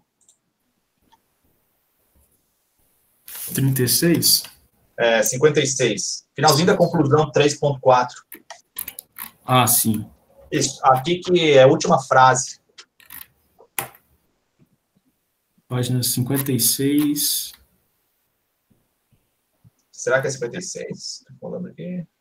Ué. Isso, 56. É a, é a parte da conclusão do capítulo? Isso. Ah, beleza, achei aqui. É 50, 58. Qual que tá para você aí? Para mim tá, 58. 58 na PDF, né? Isso, ah, tá.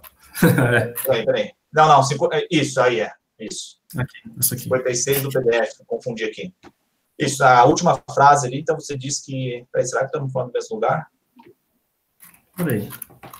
É, é, é, é, qual frase? Acho que você falou na frase para mim. Eu tô, acho que eu estou com o mesmo documento aberto. Deixa eu ver aqui. Será que estamos com o mesmo, mesmo documento? Acho que eu. Deixa eu ver aqui. Acho que esse aqui que eu mandei para vocês, mas acho que é o mesmo. Ah, não, tá, acho que eu tava com alguma, alguma coisa. Isso, é isso daí. Agora sim. Tinha uma fase a mais ali, né? É, devia ter. Aquilo devia ser uma versão anterior ali que eu tinha feito. Desculpa. Realmente. Fazer. A conclusão é que o BES, né, projetar, vai escolher não usar o conversor DC-DC, vai ter que usar uma classe de transistores maior. Aqui, novamente, tá, cabe uma boa discussão, e é o que faltou um pouco falar sobre as correntes da, da, da, das baterias. Porque se você apresentar para alguém, olha, você tem aqui uma topologia com um estágio só, você vai ter tem duas opções, ou você aumenta a classe do transistor, sai de 1.200 vai para 3.300, ou você inclui um conversor DC-DC com mais chaves, com mais indutores, mais gate drivers, mais controle, mais sensores, a pessoa vai optar pela primeira opção. Ah, não, prefiro então usar transistores de 3.300 volts para não, ter, para não ter que incluir tudo isso. Ou seja, só uhum. comparando essas duas grandezas, o cara vai escolher usar a topologia 1, vai falar, não, não vou incluir mais transistores, gate drive, mais um DSP se for preciso.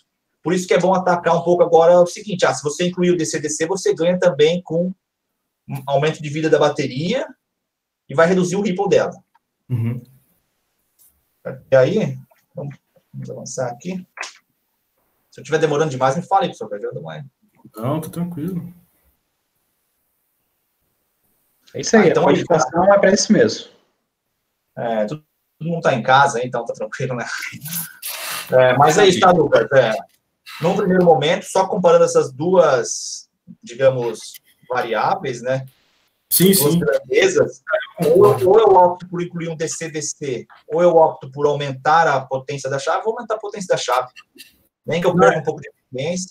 Mas aí, claro, se você começar a olhar com mais calma o que está acontecendo com a bateria, você usando uma T3 lá, a pessoa pode pensar bem, não, acho que vale a pena, então, incluir mais coisas, mais controle, mais sensor, mas aí eu vou trocar a bateria uma vez a cada dois anos, por exemplo, e não uma vez a cada um ano. Pode ter uma coisa ali, tá? Dá uma atacada nisso aí.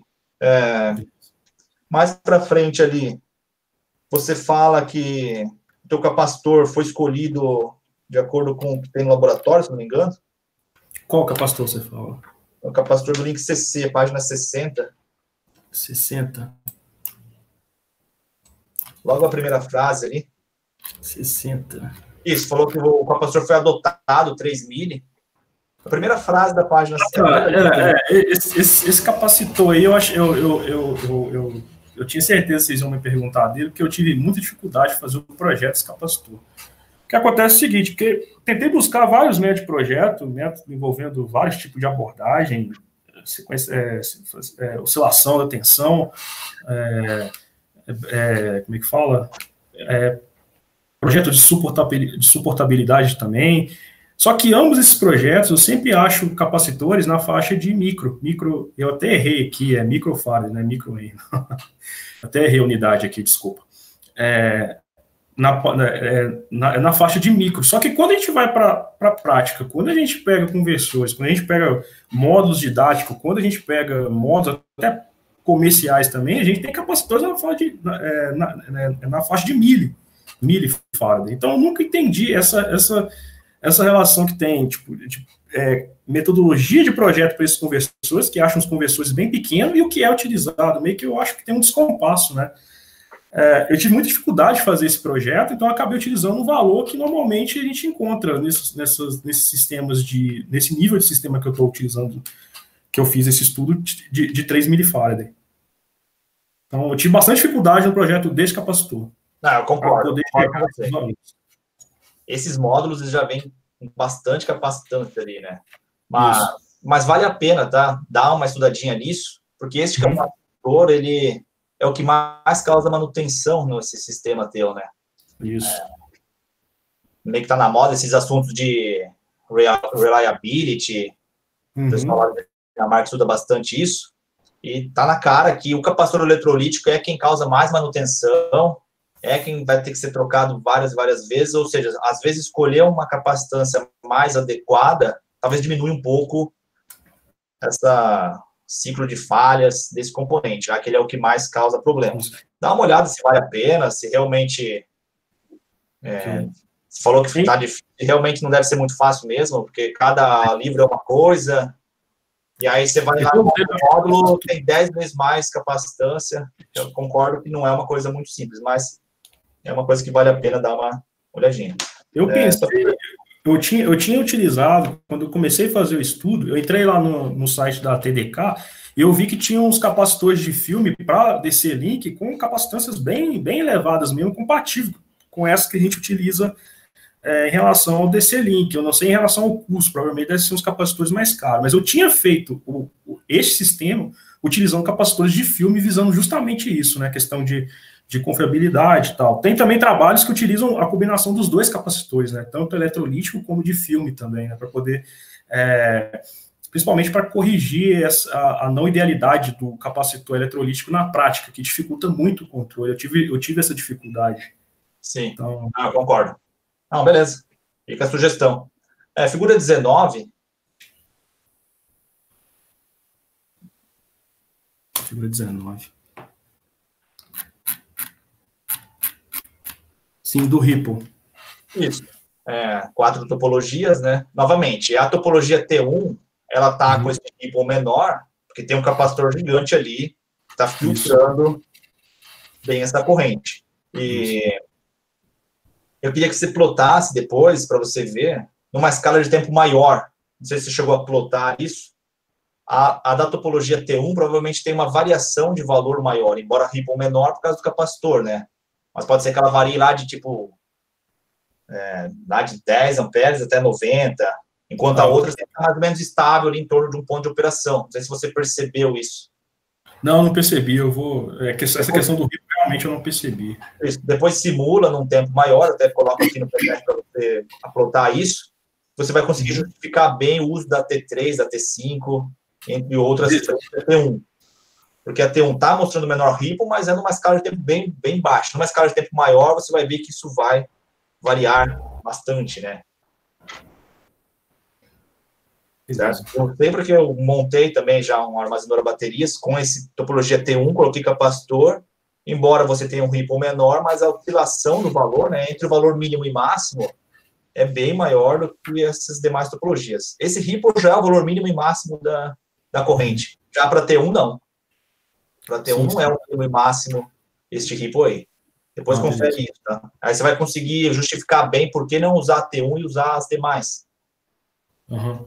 Aí na figura 20, também é uma. É só, é só, é, é só um, um, um, comentário, Thiago, em relação a isso também, que eu, eu, tenho, eu tenho uma dúvida também, porque aqui eu só estou trabalhando com potência ativa, né? Então, não sei se. acho que se eu começar a injetar reativo para algum serviço de rede, ou se minha tensão estiver desequilibrada também na conexão, pode ser que apareçam ripples aí de baixa frequência também, né? Não sei se Exatamente. vai influenciar também.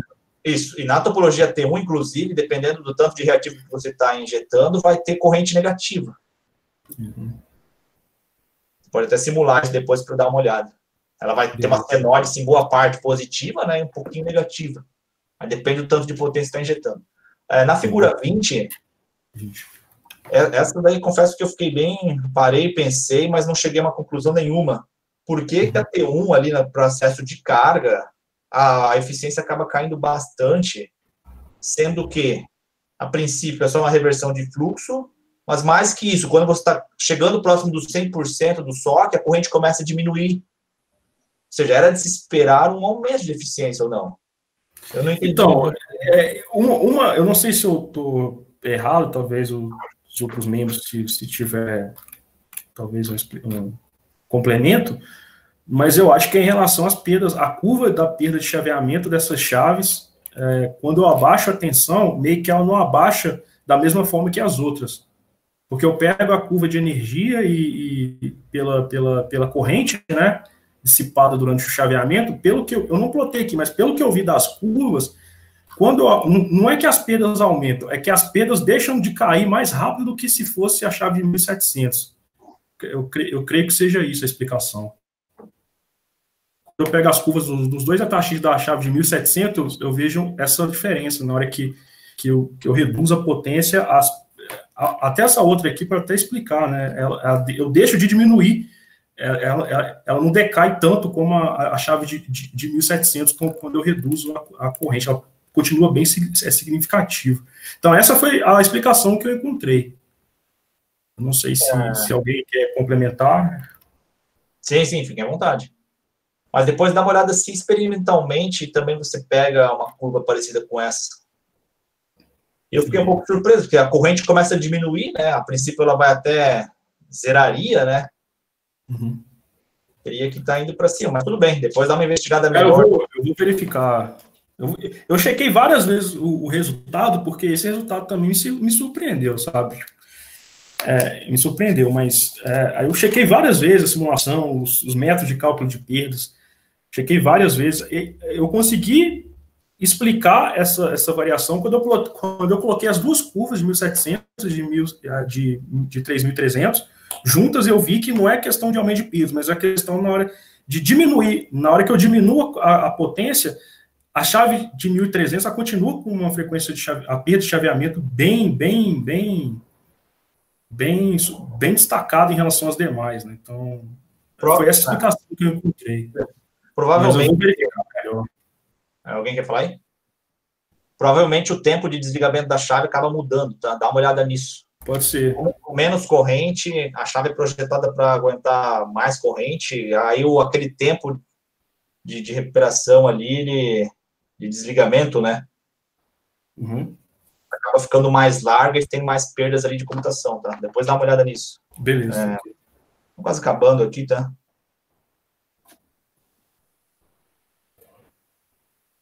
Isso. É, o custo sempre é uma coisa difícil de fazer, né? Complicado fazer uma análise de custo bem justa. Procura delimitar bem qual é a- o cenário que você está analisando o custo, É, sem considerar isso, sem considerar aquilo, para ter uma coisa mais transparente. Tá? Para ninguém pegar só essa figura, ah, essa topologia é mais barata, o cara vai lá, compra tudo, e depois vê que é mais cara. Porque, por exemplo, pode envolver questões de quantos DSPs você vai usar, vai usar um só, vai usar um por estágio, um por, não sei. Tá? Então, delimita bem, ó, a análise de custo é considerando isso, não considerando isso, entre outras coisas, tá? Ok. Na tua figura 33,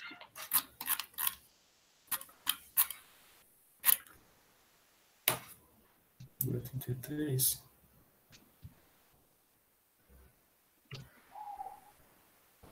Sim, sim. você mostra a transição, eu esperava ver a corrente também da, lá da rede tendo essa transição. Ah, Deve ser uma coisa permanente carregando, né? sim, sim. botar, para a gente ver como é que ficou o transitório disso. Sim, sim. É, se puder colocar também a tensão da rede para ver se ela foi afetada ou não, está em fase, né? Tudo dá, dá para tirar bastante informação você mostrando o transitório e também a tensão, pelo menos da fase A, por exemplo, está em fase e tudo mais. Continuou em fase. Por fim, aqui na conclusão final, eu senti um pouco de falta também do seguinte: você apontar qual topologia é a mais atrativa. Por exemplo, dentro do que foi considerado, considerando os valores, considerando a disponibilidade, a T5 é a mais atrativa, a T3. Como é uma análise um pouco comparativa, fica interessante você apontar uma como a mais atrativa, novamente, do ponto de vista do que você considerou. Como se fosse um datasheet, né? Considerando 25 graus, isso e aquilo, isso é o melhor. Considera, considerando o que você abordou na tua tese, neste caso, a melhor topologia seria a T3, seria uma conclusão legal, tudo bem? Então, é isso, tá, Lucas. É, parabéns, tá, pela, pela, pelo convite. É, certamente é uma tese bem promissora aí. Novamente, esse assunto de armazenadores é bem importante, vai contribuir bastante. Depois eu te mando o PDF. Aí, desculpa se eu falei demais aqui também, né? Mas é isso, tá? Então, obrigado. Obrigado, obrigado Lucas. Devolvendo a palavra aí do professor Vitor. Obrigado, Thiago. Muito obrigado, Thiago. As colocações completamente pertinentes, né? Como especialista uh, nessa área, é o que mostrar esses pontos de dificuldade, né? Exatamente onde a gente está enfrentando problemas. Bem, é, seguindo aqui ó, a, a escolha do próximo membro, né? Eu fico meio na dúvida. Vai ser o Alan ou vai ser o Wallace, né? Os dois estão têm uma certa proximidade, apesar do Alan ser do Cefet, o Wallace é o está junto com a gente no projeto. Então, assim, no final das contas, é um critério basicamente é, espacial, né? E por isso eu passo a palavra para o professor Alan.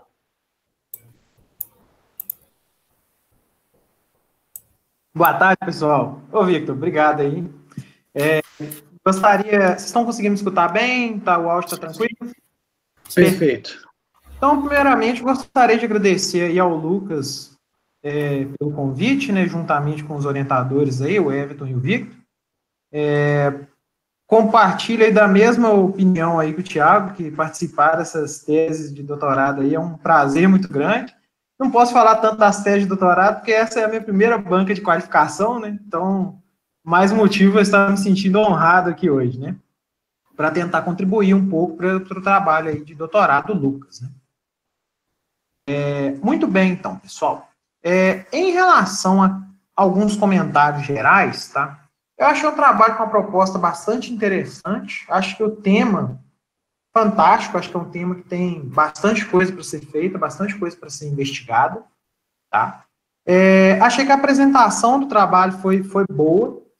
É, fiz alguns comentários relacionados à linguagem, alguns termos, em algum, alguns pontos poderia ser charging ao invés de charge, coisas desse tipo que eu acho que vão melhorar um pouco do texto, principalmente para a versão final, né? Uhum.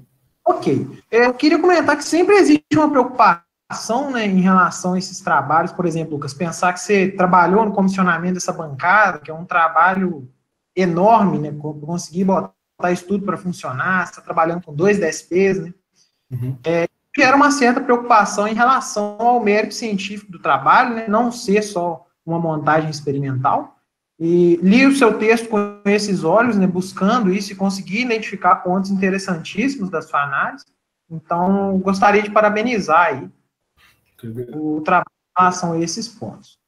É, muito bem. É, eu cheguei a imprimir o texto, fiz alguns comentários no texto, depois eu vou escanear e mandar para vocês. É, eu também fiz um Excel, que aí eu tenho os pontos principais da minha fala, e aí eu também vou encaminhar para vocês. Isso é para orientar você depois na hora de. para não se perder entre os comentários do tá? Não, beleza. É, eu gostaria de fazer algumas perguntas aqui primeiro relacionadas assim a um, ao serviço prestado, que seria aí mais ou menos aí na página 21, né, nessa seção 1.1. Já estou nela aqui. em relação a esses serviços aí prestados, eu fiquei com a dúvida no seguinte, de todos esses serviços que você mencionou, aonde que o suporte de frequência ele está incluído? Ele está incluído nesse, nessa reserva girante, por exemplo, que poderia ser algo para dar um suporte de frequência primária? É, eu, eu vejo, eu vejo du, du, é, duas, é, dois lugares que é isso na, é, na pesquisa que eu fiz, né? Foi nessa Spin Reserve, né? Na Spin, não Spin Reserve, é, que é, é, que ajuda o gerador na rede a manter a frequência e também aplicações em micro-rede no qual o formador de rede manter a frequência. Então, eu vejo nesses dois trabalhos. É, foi, foi, foi, um, foi onde que eu consegui enxergar a aplicação de, de regulação de frequência. Sim. É, eu senti a falta de mencionar esse termo dentro desses serviços. Uhum. Eu falo que tem muitos sistemas que estão sendo comissionados hoje, né, ou tem vários estudos de empresas sendo realizados, para desenvolver, por exemplo, staticons com armazenamento de energia. Uhum. A ideia principal é um equipamento que consegue dar suporte tanto de tensão quanto frequência, né? Porque agora você tem inércia, né? Sim, sim. Então eu senti que em algum ponto isso poderia entrar aí no texto. Beleza. Suporte de frequência. Você fala é... no sentido de. Você fala suporte frequência no sentido. É, vamos supor, eu tenho um BES, não, é não necessariamente atrelado à geração, né? Porque eu acho que o Spin Reserve tem mais alguma coisa a ver em relação a isso, né? Mas Basicamente, quando a gente tiver uma variação, da mesma forma que você entrou aí na questão que você tem uma grande variação de carga, a gente entra nesse sistema para poder dar suporte de potência ativa, o que a gente está querendo, no final das contas, é controlar o transitório de frequência do sistema. Uhum.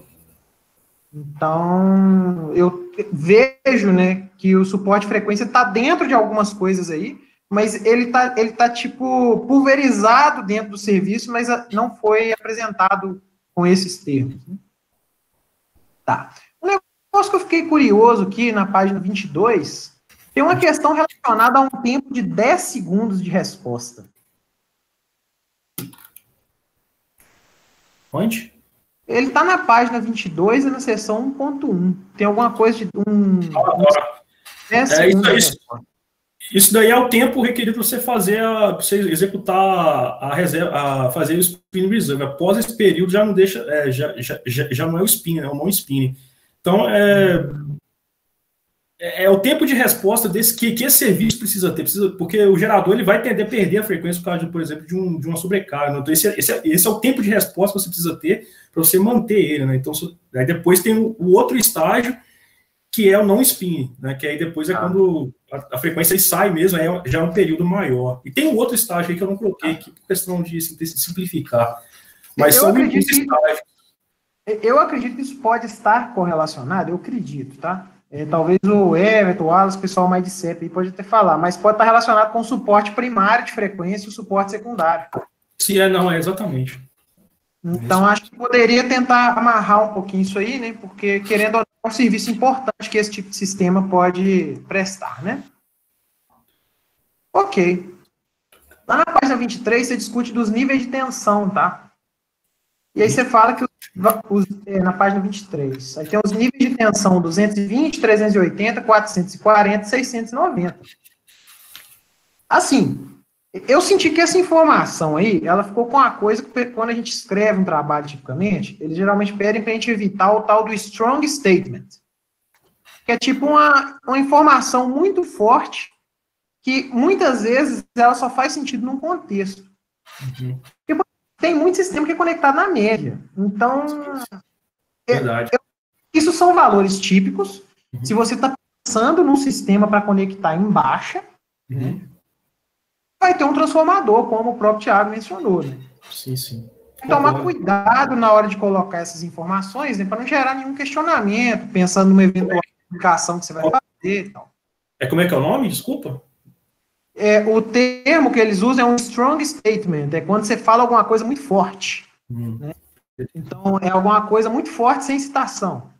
Ah. Então, então, isso muitas vezes o leitor pode um pouco frustrado, né? Que ele fala, poxa, mas eu trabalho isso aqui há 20 anos, o nível de tensão mais comum é 1000 volts. Como que esse cara fala que é 690?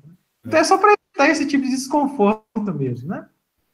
Ah, na página 23 ainda, a página 23 ela é polêmica. Vou falar mais duas coisas. Introdução, né? É... Eu senti que você usou um termo muito feliz, que foi stage e two stage best. Ou seja, um estágio e dois estágios.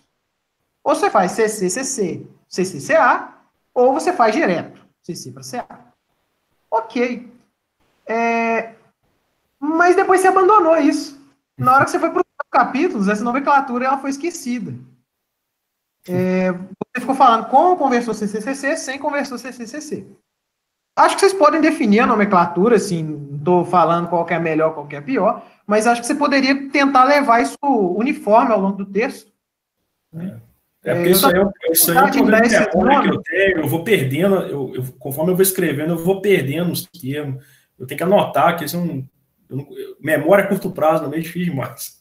Não, o que acontece é aquele famoso escreve, você dá um Ctrl F, né, e acerta, é. tranquilo. Excelente. Mas obrigado pela dica, vou, vou manter. É.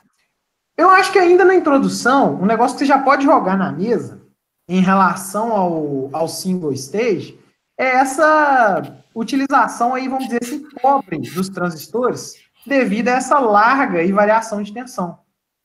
Eu acho que chamar atenção para isso desde o começo é importante. Porque como você está indo com uma classe de tensão diferente, as características de perda dos transistores podem ser bem diferentes. Sim. Então, por exemplo, um ponto importante relacionado àquele ponto que o Thiago mencionou lá.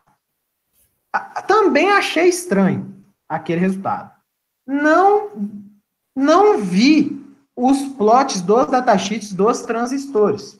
Mas uma coisa que eu posso falar, que eu posso conjecturar, é que a área daquele transistor de 3300, a área do chip, ela é bem maior do que a área do transistor 1700. Uhum. Porque mesmo com níveis de corrente compatíveis, se você sobe a tensão de bloqueio, você sobe a área do chip. Porque o fabricante, quando produz o componente, ele mantém a densidade de perdas por centímetro quadrado. Senão, você não consegue resfriar o transistor. Uhum. Então, dois transistores de 100 amperes, um de 3.300 volts, tem área maior do que um de 1.700. E isso vai impactar na perda de computação. Você tem mais área, mais carga distribuída numa área maior que vai ter que recombinar ali no processo. Então, isso pode sim afetar aquele resultado. Então, pode ser sim que aquele resultado parece estranho no primeiro momento, mas eu acho que essa curva dos transistores aí vai ser fundamental lá na frente para você poder justificar esse é. ponto. Tá. Então, acho que essa questão aí é um ponto que poderia ser falado aí também. Muito bem. É, ok. Na página 25, na seção de motivação do seu trabalho, eu acho que para a versão final você tem que trabalhar melhor ela. Uhum. É, eu acho que, por exemplo, a bateria C de chumbo ácido ela ficou um pouco solta, sabe? Uhum. Não estou falando que você tem que ter uma revisão de tecnologias no seu trabalho, mas seu trabalho está inserido num contexto que chumbo ácido faz sentido. Então, acho que em algum momento vale uma, pelo menos uma menção nisso, né? Essas escolhas, né? Eu acho que seria importante colocar essa parte. Beleza. Na hora de falar a questão do com DC-DC, sem DC-DC, eu acho que você tem que entrar um pouco nas polêmicas, talvez. Porque, por exemplo, essa questão do que o Thiago mencionou, relacionada à vida útil das baterias. Isso é um negócio polêmico demais. Por quê? Porque muitos trabalhos que mostram que Ripple ele afeta a vida útil, ele é Ripple de baixa frequência. Então tem alguns trabalhos do grupo de pesquisa do Japão lá que eu não me lembro agora exatamente. Ele diz, né, que alta frequência para bateria, ou seja, coisas que degradam a bateria, está na faixa ali de 12 Hz para baixo. A justificativa deles é que é um fenômeno químico, né? Então, muitas vezes, a alta frequência não dá tempo de degradar, né? Ela pode degradar indiretamente se for por causa da temperatura. Então, se a bateria ficar mais quente por causa do rico, ok. Mas também eu já vi trabalhos, vi um trabalho em parceria com a Scania, lá da KTH, lá de Estocolmo, que o pessoal usa alta frequência para esquentar a bateria, porque lá é muito frio, né? E Se você carregar a bateria de lítio, no caso, né, com, alto, com temperatura muito baixa, ela degrada muito rápido. Tem um fenômeno de degradação lá, que é o lithium platinum. E por esse motivo, você tem que esquentar a bateria. E aí eles fazem um sistema elétrico, joga 10 kHz na bateria, o cara ensaiou baterias durante dois anos e mostrou que a degradação desses 10 kHz não é tão significante. Ela é comparável à degradação de você deixar a bateria parada, calendar. Entendi. Então, meio polêmico, entendeu? É, então, eu, eu tive, eu tive, eu tive, eu tive, eu acho que eu cito até esse trabalho japonês que você fala, acho que eu cito ele. Eu cito ele e cito o outro que faz um contraponto a esse. Então, meio que é, um fala que sim, outro fala que não. Aí quem desempatou, do meu ponto de vista, foi a, a, a recomendação do I3E, que eu cito aí também, que fala que, que, que recomenda, a, a, priori, a princípio, a trabalhar com ripples menores. Acho que ela fala isso até, uhum. até, até alguém bateu o martelo, né? Porque hoje em dia, é como você falou, é algo polêmico. Então. É, é, realmente... E, e só para falar, tudo que eu estou falando aqui é para lithium ion, que é o que eu tenho. Isso. Que eu, coisas, né? Para chumbo ácido eu não tenho certeza, não vi nada. Mas eu acho que uma discussão nessa linha, né? Ela pode sim desempatar. Porque uhum. se você está falando da bateria, que é um dos bens mais caros ali do BES, uhum. é, é, você vai querer que ela dure mais, né? Então, ok. Em relação ao capítulo 2, Lucas, é, eu gostaria de ir para a página 29.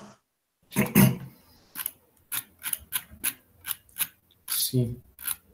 Pode ser para essa figura das topologias, acho que é uma, a gente vai discutir um pouco. Ok. É, nessas topologias aí, eu fiquei pensando num, numa questão, né?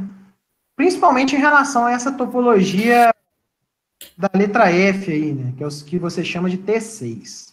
Uhum. Eu tive um sentimento, tá?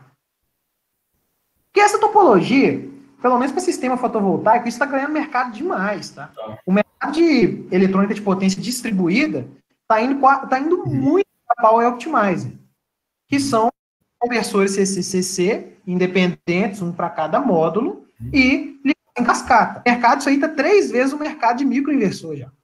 Uhum. Estão ganhando muito espaço, né? Por quê? Porque se você usar esse conversor CCCC aí, com baixo ganho, ou seja, se ele elevar pouco a tensão, você aumenta muito a eficiência. Uhum. Então, a Power Optimize aí que a eficiência é maior que 99%. Uhum. Porque ele usa um ganho muito pequenininho. Isso. Quando usa um ganho pequenininho, a diferença das correntes, né, entrada e saída não é tão grande, a diferença da tensão não é tão grande. Né? Eu pensaria que esse seria um cenário melhor para a topologia 6. Porque quando você montou seus estudos de caso lá na frente, você preferiu dividir e colocar as baterias em paralelo. Quando você faz isso, você aumenta a corrente e tem que aumentar o ganho de tensão. Você crucificou seu conversor CCCC. É, foi um problema, porque eu não poderia deixar 44, 44, porque senão eu não precisava nem dele, né? Porque se fosse 44, 44, não tinha ganho nenhum. Então eu precisei, para deixar assim justa a comparação com os demais, eu tive que fazer essa modificação para manter todo mundo na no mesmo verdade, Na verdade, na verdade, eu vou te chamar a atenção para isso aí, que eu acho que tem um, talvez um ponto que tem que chamar a atenção. Uhum. Eu não concordo com essa afirmação sua, porque a vantagem de inserir o DCDC que você está vendendo é usar transistor de 1700. 1700. Percebe? Você vai conseguir usar o transistor de 1700 com o conversor CCCC dando ganho pequenininho. pequenininho. É, realmente fica bem pequeno. E as perdas vão cair drasticamente, eu acredito, porque você vai reduzir o ganho, então ele vai ficar cada vez mais próximo da sua primeira topologia, que estava sendo na carga. Sim, sim. Não, é realmente, é. realmente é isso mesmo. Então eu talvez, né, numa possível publicação em análises futuras, talvez role inserir uma, um cenário adicional do T6, cenário esse que englobe 44 baterias em série. Beleza.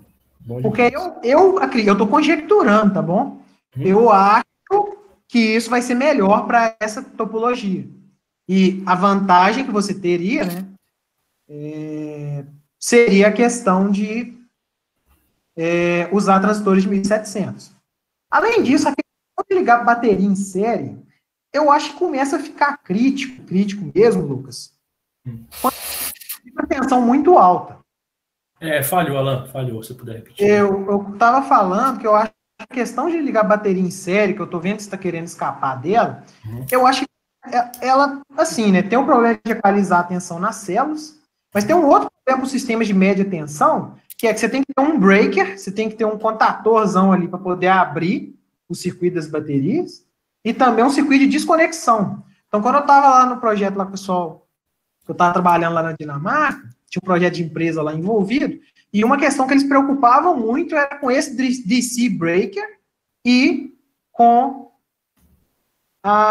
esse desconector, porque eles queriam um conversor que se eu tirar as baterias, por algum motivo, eu ainda tenho um conversor para prestar um serviço de reativo.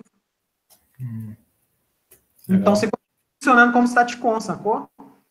E lá na média tensão isso é crítico, porque você está com um nível de tensão de bateria muito alto, fazer um sistema, um, um sistema de abertura né, de, desse circuito aí para tensão mais alta fica cada vez mais crítico, fica CC, complicado. A CC ainda é complicado. Corrente contínua, tecnologia começa a ficar complexa. Então, acho que esse seria um, um ponto relacionado. Um outro ponto que eu vou discutir também, aproveitando essa figura, é a conexão das baterias em paralelo com o capacitor, tá? Além do, do que o Thiago mencionou, né, que a variação desse ripple vai ficar grande, é, aquele resultado seu de ripple lá na frente, tá? Que mostra aquele ripple menor, tá? Na verdade, ele vai depender da razão entre a resistência série dos capacitores e a resistência série da bateria. Vai ter as indutâncias também, né? Porque é kilohertz. Mas isso é um problema, porque se a resistência série da bateria for muito pequena, ela vai absorver o ripple de alta frequência quase todo, tendo capacitor ou não. Você fala bateria, né? Porque a bateria está em paralelo com o capacitor, é um divisor de corrente. Sim, sim, sim. A impedância absorve mais corrente. Sim, sim. E tem alguns sistemas que usam indutância em série com a bateria. Hum. É como se fosse um filtro passivo. E aí, com isso, você limita um pouco dessa ondulação de alta frequência que vai circular na bateria. Sabe, tá? vou procurar saber.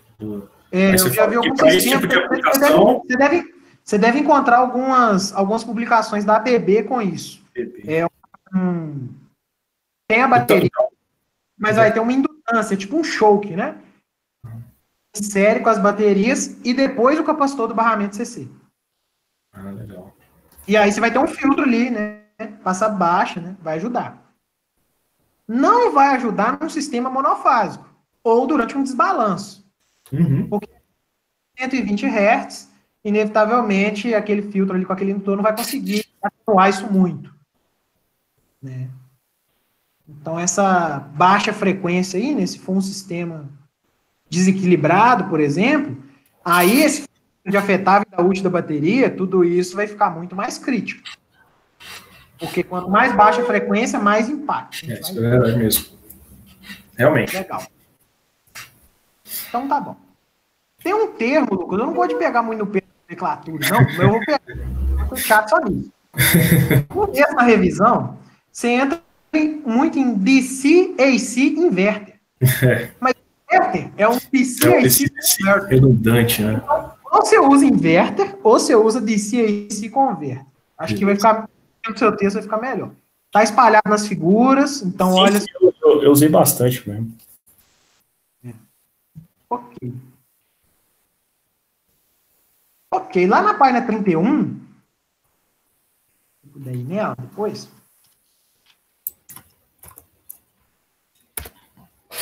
Um detalhe só para acertar. Você chama o conversor dois níveis de VSI. Voltage uhum. Mas os caras lá embaixo também são voltage source inverter. É o NPC, é o Flying Capacitor, é. Então talvez chame ele two level. Two level. Aí, coloca um two level nele. Two, two level. É, eu tive bastante dificuldade em diferenciar esses, esses conversores. É, eu, eu, tive essa dificuldade também de chamar de voltage source inverter também. É, dá Acabou... nome, às, dá nome é, às coisas, eu compreendo demais. É difícil. Demais. Eu chamei a atenção para isso, você não trocou. Estamos batendo aí, ó. Ô, Vitor, tem que defender. Vamos lá. É, em relação ao Z Source Inverter e o, e o quase Impedance Source aí, uhum. você fala no texto, parece que eles são comerciais.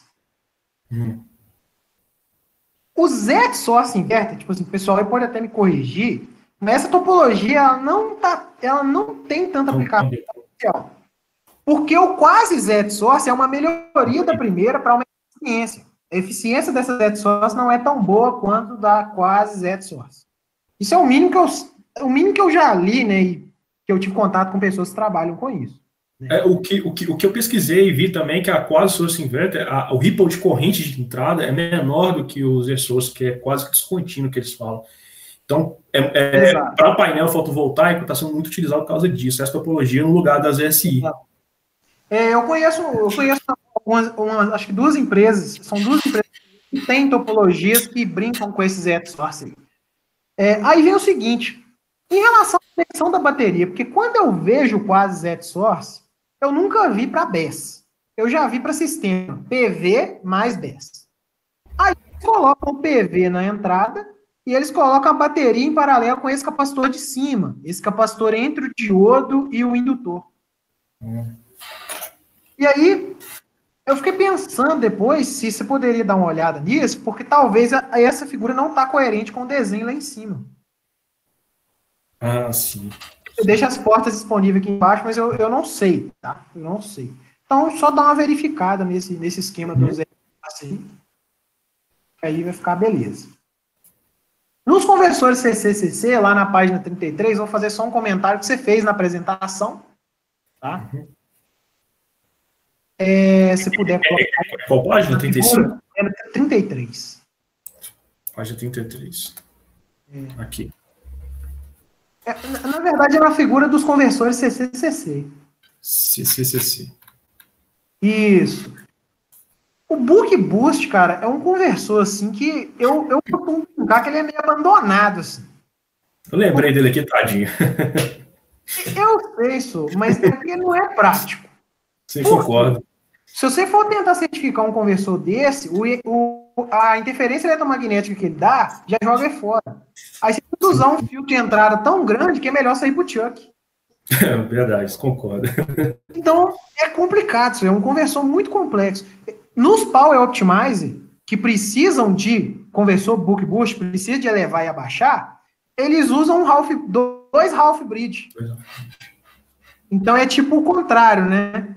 É, funciona melhor do que o Book Boost. Então, assim. Não, é, realmente, o Book Boost, os Ripple, então, consequentemente, é, interferência, é, ainda mais para alta potência, é, realmente concordo. Mas eu lembrei aqui como um, uma revisão né, do que existe na literatura.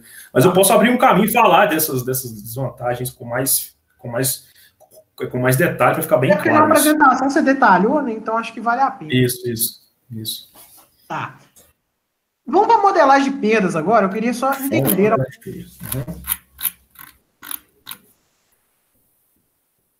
Em relação à modelagem de perdas, está na página 39, tá? Da, do artigo. Não é do PDF. Tá. Assim, tem algumas coisas aí que tem que ficar mais claras. Tá? Uhum. Você despreza efeito skin, ou seja, é, pelicular, né? E o efeito de, de, de proximidade, você só está falando que a resistência do indutor é constante com a frequência. Uhum. Mas você não pode usar o valor médio de corrente. Você tem que usar o eficaz. Tem que usar o eficaz da corrente. Eficaz. Por quê? Porque isso tudo vai gerar perda na resistência. O que, que a proximidade ah. e o skin, o, e o skin, estou esquecendo o termo, meu Deus. Pelicular, efeito pelicular faz. Pelicular. Esses dois efeitos aumentam a resistência com a frequência. E, portanto, a perda poderia estar maior do que o que você está calculando. Tá, tá. O, então, tem que tomar cuidado. Mas você usa corrente eficaz. O ripple de corrente vai gerar perda. Se ele centro lá, ele vai afetar no valor das perdas. Você fala na, na 2.5? Na equação da perda no cobre do indutor.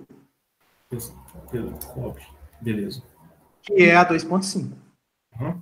Ficou claro? Ficou então, claro. quando no valor médio, se usa o valor eficaz, porque senão não é coerente, entendeu? É o valor eficaz, mas você está subindo a resistência constante. Tá?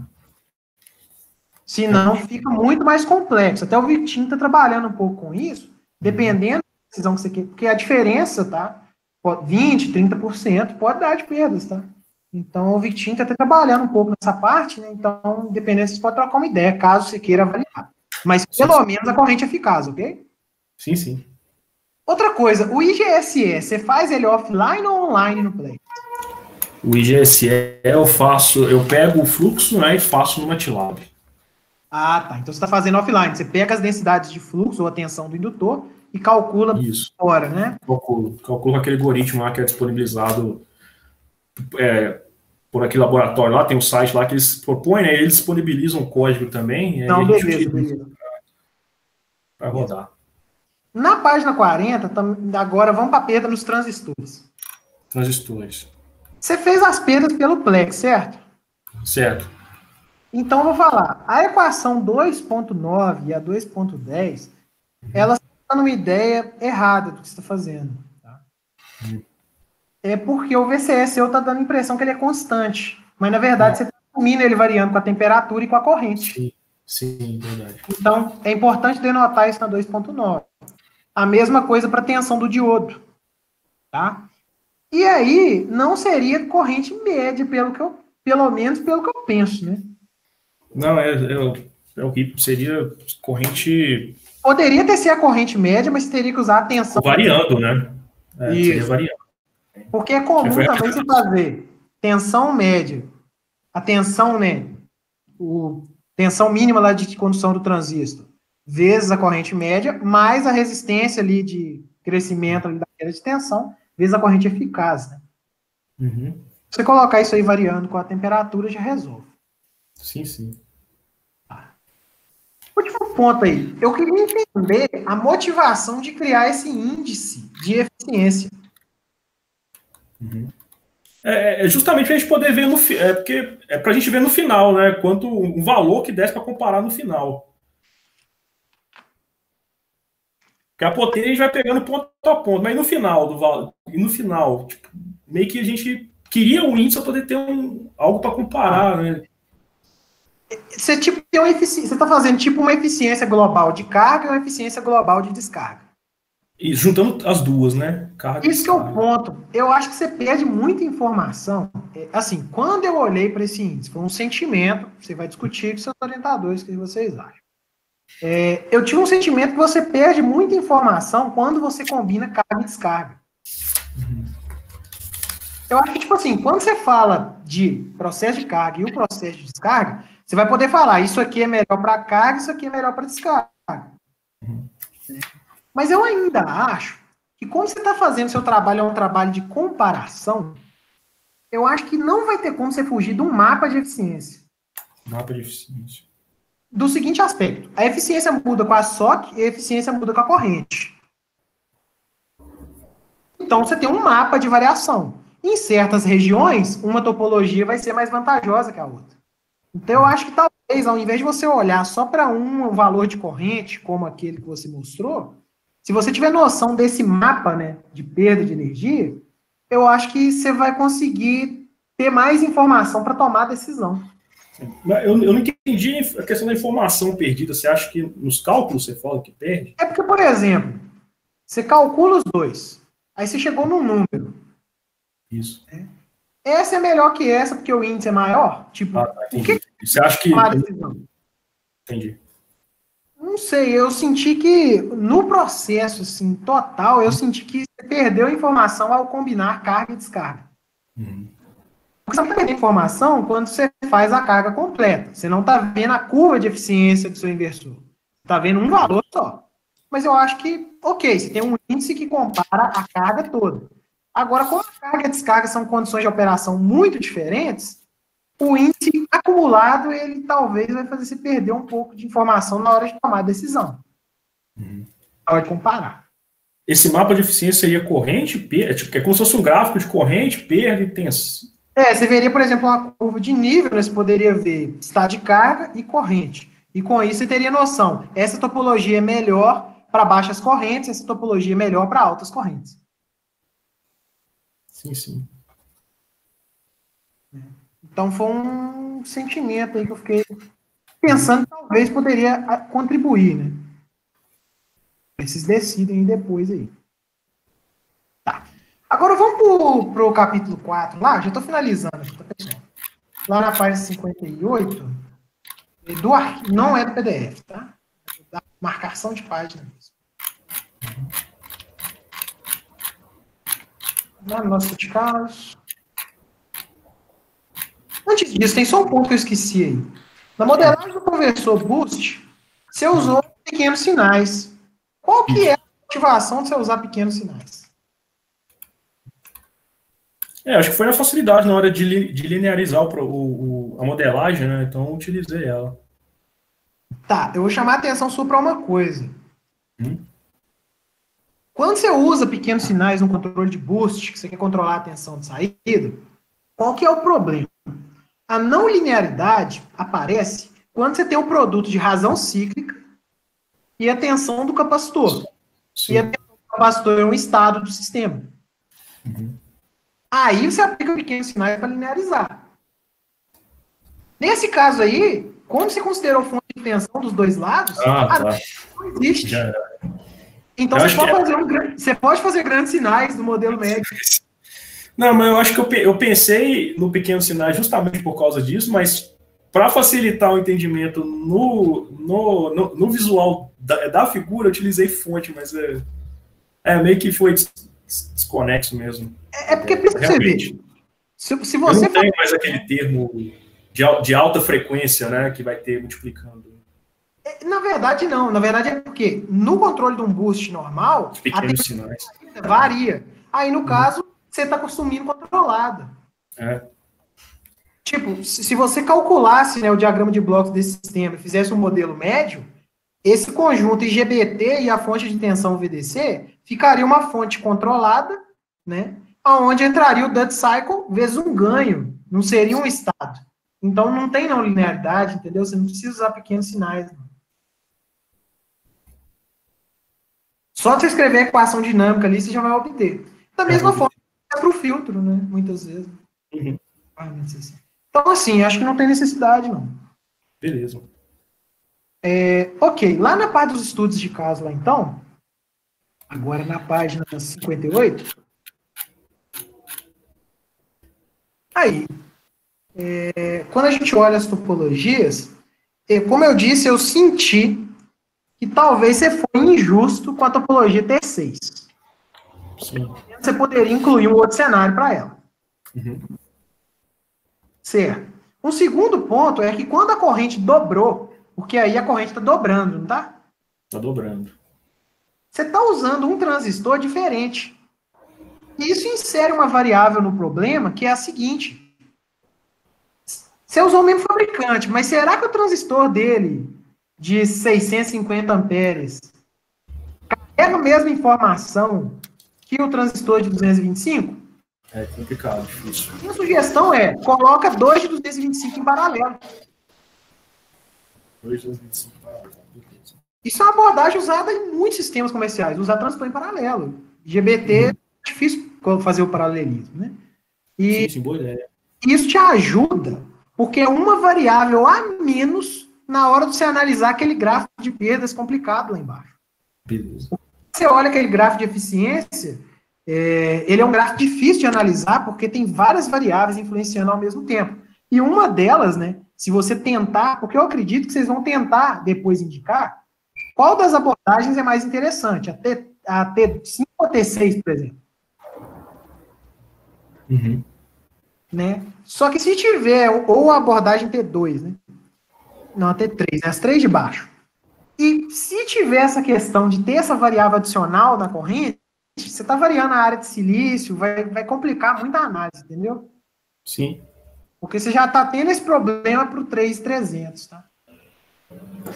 Uhum. Então, acho que, bom. Amarrando isso aí com as suas propostas de continuidade, vocês colocaram uma possibilidade de analisar outros níveis de tensão. Tá? Uhum. Eu acredito, uma sugestão que eu daria é talvez comparar num cenário em que todos usariam inversores com a mesma classe de bloqueio, e um outro cenário, que foi o que você já escolheu, que dão classes diferentes. Porque isso enriquece a análise. Você vai mostrar um cenário, né? Que uma topologia vai ter vantagem em relação a outra, ou não. Então, então seria um cenário que todo mundo usaria transistor de 1700, e um cenário que, to, que os caras de baixo usam 1700, e o outro o pessoal usa. É, então, 3, todo mundo, todas as topologias é 1700 para poder comparar. É, aí eu acho que esses dois casos já estariam de bom tamanho. Se você tentar fazer é. para aqueles níveis de tensão lá, vai te dar um trabalho tão grande projetar outros filtros, projetar outros elementos que nem é o foco às vezes, entendeu? Uhum. Então, eu acho que talvez eu restringiria essa análise nesse universo e esgotaria a análise. Então, eu uhum. tentaria melhor na hora que está operando como retificador, será que os diodos estão tendo mais perdas do que os IGBTs? Uhum. Que os diodos de 3300 são piores que os diodos de 1700 e é por isso que está dando aquela diferença lá, lá embaixo? Interessante, é. Vou verificar é. isso. Então você tem que olhar não só em IGBT, mas também nos diodos, porque principalmente na operação como retificador, eles vão estar tá bem estressados. Uhum. Vou verificar isso. Ok. É, em relação ao ao capacitor agora. Isso. Projeto de barramento CC, Lucas, não é um negócio trivial. Uhum. Porque uma coisa é o cálculo de capacitância. Outra coisa é o projeto físico da capacitância. E o que acontece? Você vai pegar um conversor dois níveis, se você for considerar esse caso trifásico, se você fosse olhar só o ripple de alta frequência, daria um capacitor ridiculamente pequeno. Concordo. Se você considerar desbalanço de tensão, que é o que geralmente é feito, você vai chegar num valor de capacitância que corresponde a 2 joule por kVA. 2 a 4 joule por kVA. Eu não vou falar em capacitância, porque se um capacitor ele é de 1 farad, eu não tenho condição de falar se ele é grande ou pequeno. Porque depende do nível de tensão. Uhum. Num conversor desse, o que você quer é energia. Então, eu geralmente penso em joule por kVA. Só para você ter uma noção, eu fiz o cálculo, o capacitor que você está usando de 3.000, ele dá em torno de 15 joule por kVA. Tá? Num primeiro momento, ele parece grande. Só que tem um problema que é o ripple de corrente. Os capacitores têm que aguentar o todo o ripple de corrente do inversor, em todas as condições de operação. E muitas vezes, você pegar um capacitor pequeno, ele não tem capacidade de conduzir aquela corrente toda. Aí o que o pessoal faz? Coloca um monte em paralelo. Sim. Isso também ajuda porque a resistência séria do capacitor gera um monte de problema.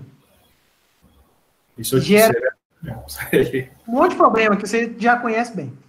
Uhum. Liga em paralelo, reduz. Ok? Uhum. Vou chamar a atenção que o seu setup, a quantidade de capacitância que tem lá, é 33 joule por kVA. É. Lá não tinha muito para onde correr. E ele é monofásico. Aquele conversor não foi projetado para operar trifásico. Ele foi pensado para operar monofásico, tem ripple de segundo harmônico. Para esses conversores, usar 40 de AutoKVA não é absurdo. Tá? Mas para conversores trifásicos, a gente tipicamente usa menos. Tá? Mas ele é quatro braços, Alan. Ele tem, ele, ele, será que é monofásico? Eu, para mim, aquele conversor ele foi projetado para ser monofásico de um lado monofásico do outro. Não sei que monofásico que eu pensei. Foi, é o que eu penso projetar aquele conversor. Para mim, eles não projetaram de conversor de quatro braços para ser trifásico. É, eu achei uma capacitância bem alta mesmo, para ser sincero, 4.7 por conversor, e eu associo eles em paralelo, então, imagina. Sim, mas ele é monofásico, então eu acredito que é por isso que ela está tão grande. Tá? Depois, se você quiser discutir um pouco essa questão dessa parte do projeto do capacitor, a gente pode discutir, eu posso tentar auxiliar um pouco aí, disponibiliza aí para ajudar. Obrigado. Ok. O Vitor, tá, é... o Vitor, o Vitor. Oi. Aí, agora melhorou. É que o Vitor quer fazer uma, uma, uma, um questionamento. Eu vou fazer uma pergunta aí em relação a esse ponto aí. Aquele, aquele módulo lá, ele tem conjugado um, uma ponte de diodos também? Acho que não. Tem, tem, tem ele tem uma ponte. Tem? E essa ponte, ponte dele. E tem, essa ponte é trifásica? Trifásica. Então a ponte de então, uso. então, eu usei ela no início. É trifásico, Alan. É só... Entende? Eu, eu, eu, acho, eu acho que na figura, eu até coloquei aqui, tem, é, é tem uma figura lá no, na parte experimental, deixa eu ver se eu coloco ela aqui. Figura 25, tem sim. É, eu acho que eu até coloco lá, é isso, o Thiago falou aí, é o 25, deixa eu ver se consigo chegar rápido lá. Aqui, ó. Tem uma pontezinha aqui, ó. Entendi. É interessante. Eu achei muita capacitância, viu? É, eu concordo. Comparar com aquele outro de 10 KVA lá, é, pensando que esse aí trabalha com barramento CC maior ainda, realmente eu achei muito. Acho que eles pensaram em deixar para trabalhar monofásico aí. Né? Mas não sei. Estou conjecturando, né? Eu não sei, eu, eu, eu, tenho impressão que talvez esse, esse nível de, de, de, de capacitância aí seja grande, talvez pelo fato de que o conversor seja feito para operar numa faixa muito, muito grande de, de frequência de chaveamento. Não sei. Pode ser uma razão também, Vitor. É, a frequência máxima de chaveamento é 20 kHz. Então, pelo que eu tenho da playsheet dele aqui, então... normalmente é isso, né? A faixa de variação. Tá. Ô, Lucas, a... acho que é 22 kHz, eu acho. O máximo de chaveamento das chaves. A última discussão que eu vou fazer aqui é relacionada à eficiência. Eficiência. É, eu fiquei pensando bastante, tipo assim, né? Li com bastante carinho a parte das propostas de continuidade. Eu vi que uma parte delas, né, está bastante relacionada com a comparação das topologias, das abordagens. Isso. Que é um trabalho relativamente grande, né? Porque mesmo pensando que é, o setup ele já está bem definido, você tem que reconfigurar, e quando você reconfigura, você tem que comissionar de novo. Você vai arriscar ligar o negócio do zero. Uhum. Então é um trabalho bem grande, né? E, e, quando você pensa em avaliar essa eficiência, eu fico pensando se o equipamento lá do laboratório, né? Porque pelo menos quando eu li o texto, eu tive a impressão que você não usou sondas de corrente e tensão do próprio vatímetro, você usou outras sondas de tensão e corrente. É, porque o elemento do vatímetro é a corrente máxima dele que a gente tem, ele é dividido em elemento, né? Dentro dele, que a precisão é muito alta, mas a máxima corrente desse elemento é 5 amperes. Existem os de 50, mas a gente não tem. A gente só tem os de 5. Então eu usei a tensão, a, a, a, a, tensão, é, eu usei o medidor do vatímetro, mas a corrente foi ponta de prova. Eu entendi. Eu, o que eu fico com medo é da incerteza de você fazer isso aí, jogar sua comparação pro buraco. É, isso é. Porque se a diferença de eficiência entre as topologias for, um, for 2%, mas se você estiver errando mais que isso, você não vai conseguir concluir nada com o resultado. É, isso daí. Então, é um negócio para ser avaliado, porque, como você está pensando em avaliar isso aí, principalmente em eficiência, é, essa incerteza de medição de eficiência aí, né? Que você está inserindo outros elementos aí, ela pode afetar no final do dia. Então, um negócio talvez apenas para se pensar quando você for fazer essa medição e essa avaliação. Uhum. Não, Mas você já... fez isso, Lucas. Você fez isso. Essa, levar em conta os erros, você fala de. Olhou, você olhou, eu, eu, você olhou as eficiências da ponta. Ah, não, é, as pontas. Eu, acho que eu não botei no. Eu, acho que eu botei no texto, não, né? Não sei se eu botei, não lembro. Mas eu olhei a eficiência, a eficiência estava tava variando entre 2% a 4% das pontas de prova. Eu usei duas, né? A, não, a eficiência ou a incerteza? A incerteza, incerteza, desculpa. Incerteza. Mas, mas isso é bastante, viu, Lucas, para medir eficiência, porque de potência ele não fica limitado ao erro de tensão e o erro de corrente. Sim, sim. Ele é maior, tá?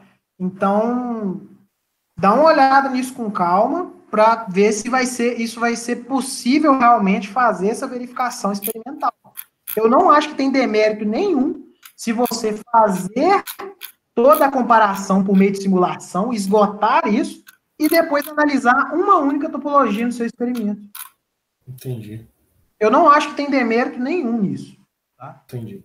Então, só estou falando, né, porque eu acredito que a primeira parte de simulação ela tem uma parte boa para ser esgotada, né, para depois, né, é, conseguir fazer esse resultado experimental. Então, acho que seria esses pontos. Explorar uma topologia, explorar. Neste ponto aí, pessoal, gostaria de agradecer a atenção aí, obrigado. É, passo a palavra aí novamente aí para o Vitor e parabéns, Lucas. Obrigado, Muito bom trabalho. Obrigado pelas dicas aí.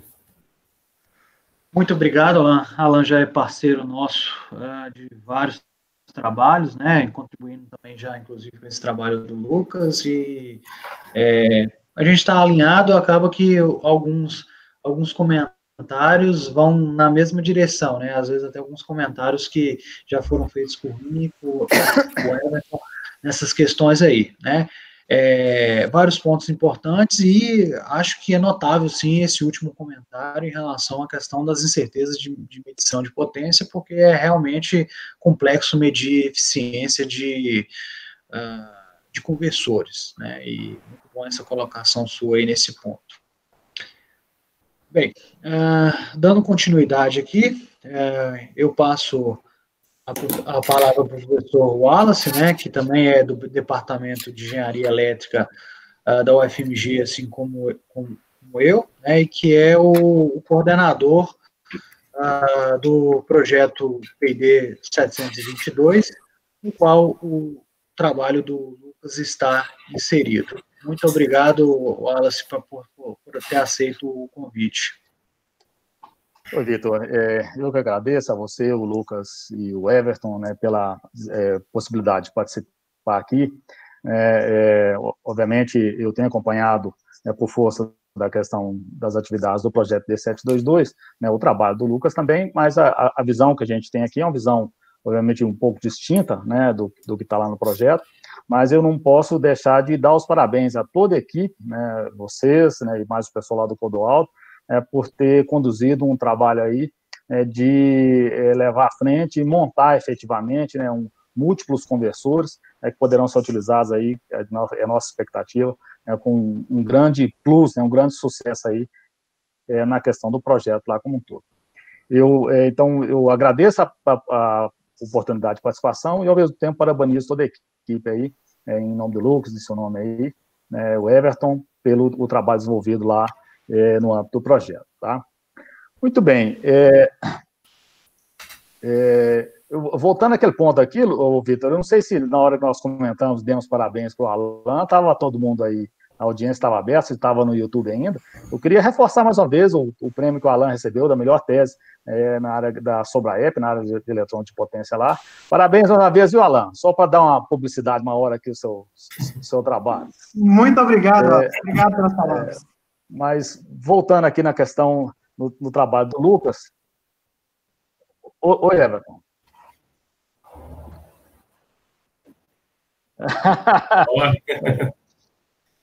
é, então tem que ter comemoração, é.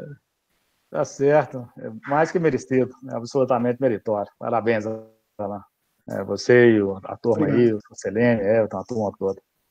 É, muito bem, mas vamos lá, eh, Lucas. É, só pegando esse último ponto aí, só para a gente não, não, não, ficar tão distante e falar isso lá no final, questão das, das medições e você fazer comparação, vamos dizer, de, de eficiências, é, na realidade, é, tem uma questão crucial aí, é saber se as suas sondas elas estão variando entre uma série de medições. É, porque, assim, elas podem até não ser tão boas, né, e terem erros aí de 2%, 4%. Mas se elas errarem sempre da mesma maneira, né, a comparação qualitativa entre as topologias ainda é possível. É, mas é, essa questão de eficiência, ela talvez demore, vamos dizer, sessões de medições muito longas, então você vai ter que analisar e ver se, se você consegue uma repetibilidade nas medições. é, que permita estabelecer essa comparação. Tá? Uhum. Obviamente, o ideal é usar um, um, instrumento de classe muito menor do que os percentuais que você está querendo é, identificar, aí, diferença de 2%, 3% entre topologias, é, não é trivial.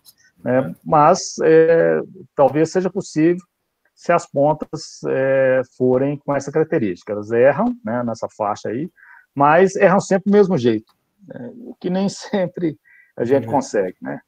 Mas é, é para verificar, tá? Ok, obrigado. É, muito bem, então deixa eu fazer alguns comentários é, globais aqui a respeito do trabalho, depois alguns comentários, né, obviamente eu não vou entrar na área de eletrônica de potência especificamente, né, mas vou entrar na área da aplicação da eletrônica de potência, né, que seria a interação dos seus conversores é, com a rede, né, e, e, o que a gente pode fazer é, de avaliação nesse aspecto aí.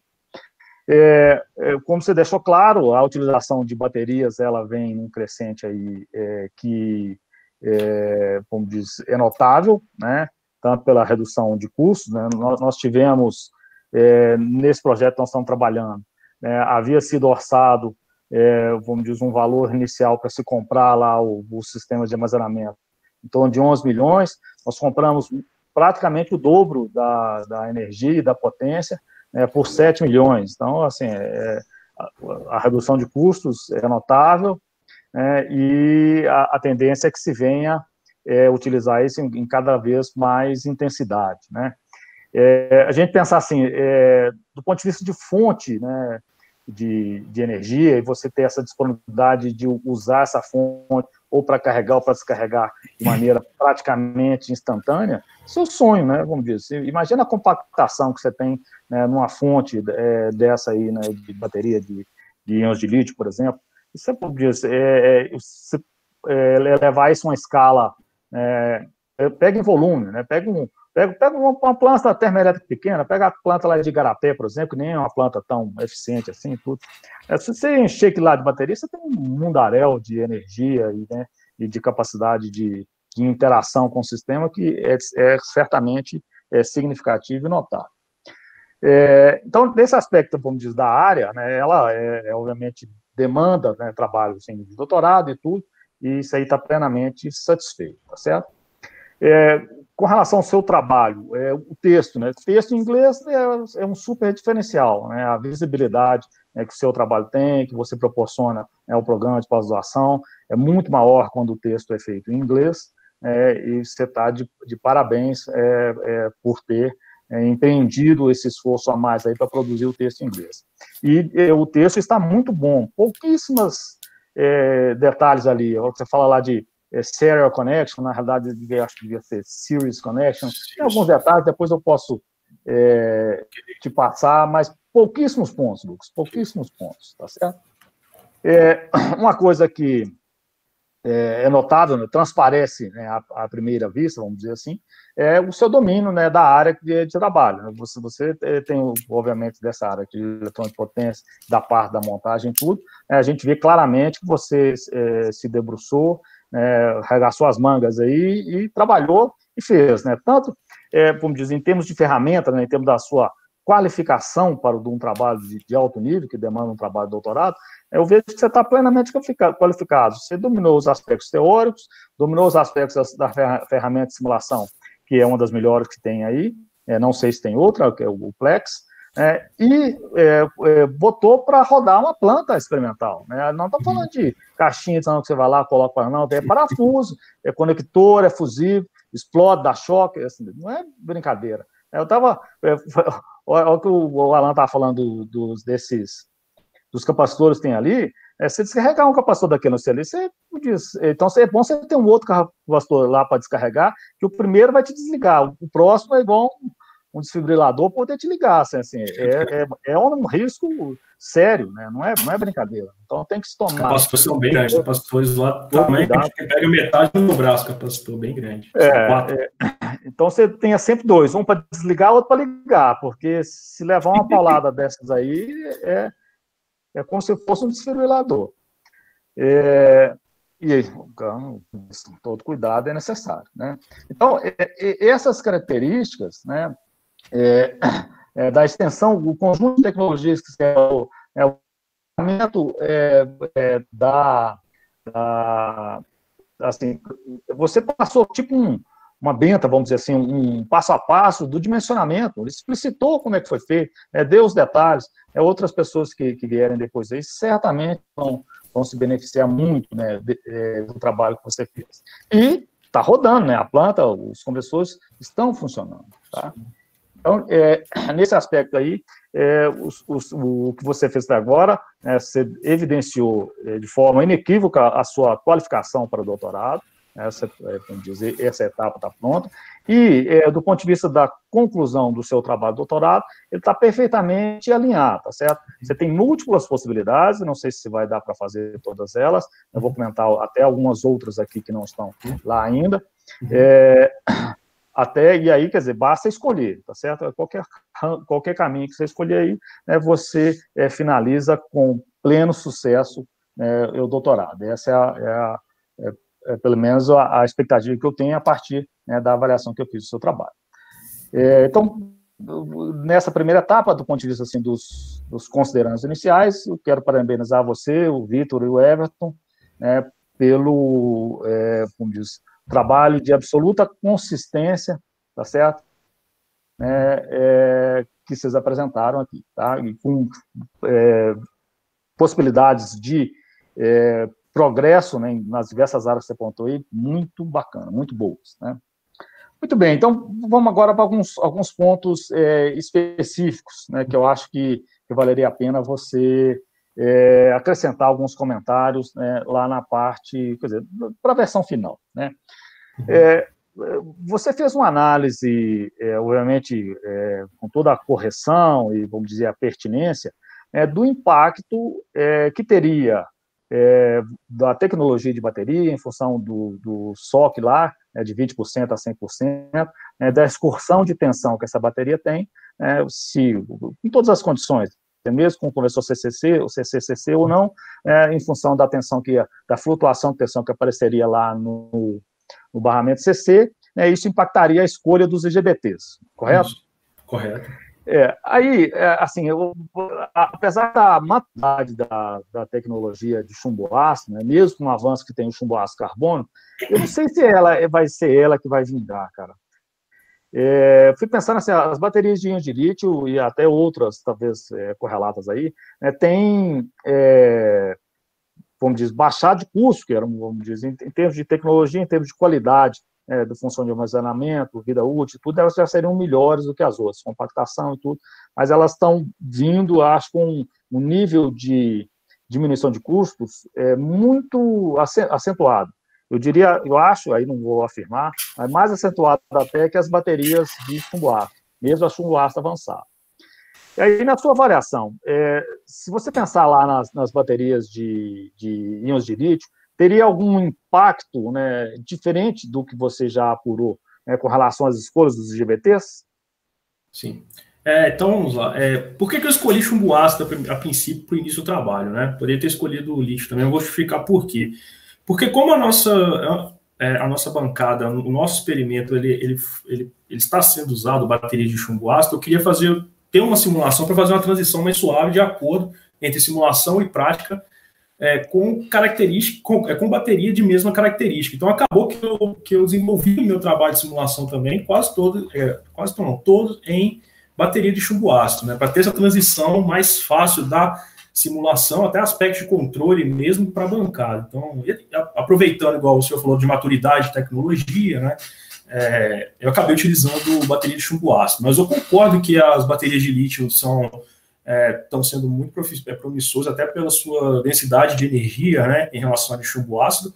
É, em relação às baterias, em relação às baterias de, de lítio, a, a minha, é, em relação ao que eu pesquisei, elas também apresentam essas, essas, características de variação de tensão, elas também apresentam esses, esses critérios de carga, igual eu, eu, eu, mostrei aqui, claro que com valores diferentes de tensão, mas elas, a, a, variação de tensão elas podem chegar no mesmo nível, até ser maior do que as baterias de chumbo ácido, né?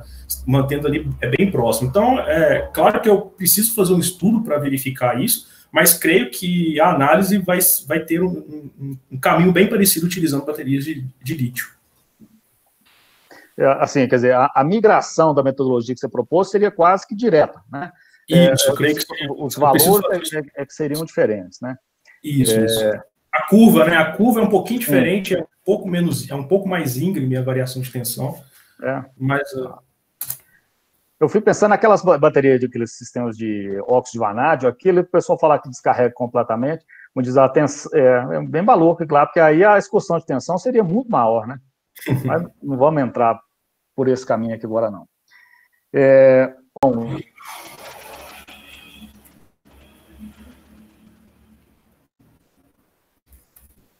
Alô, me está me ouvindo?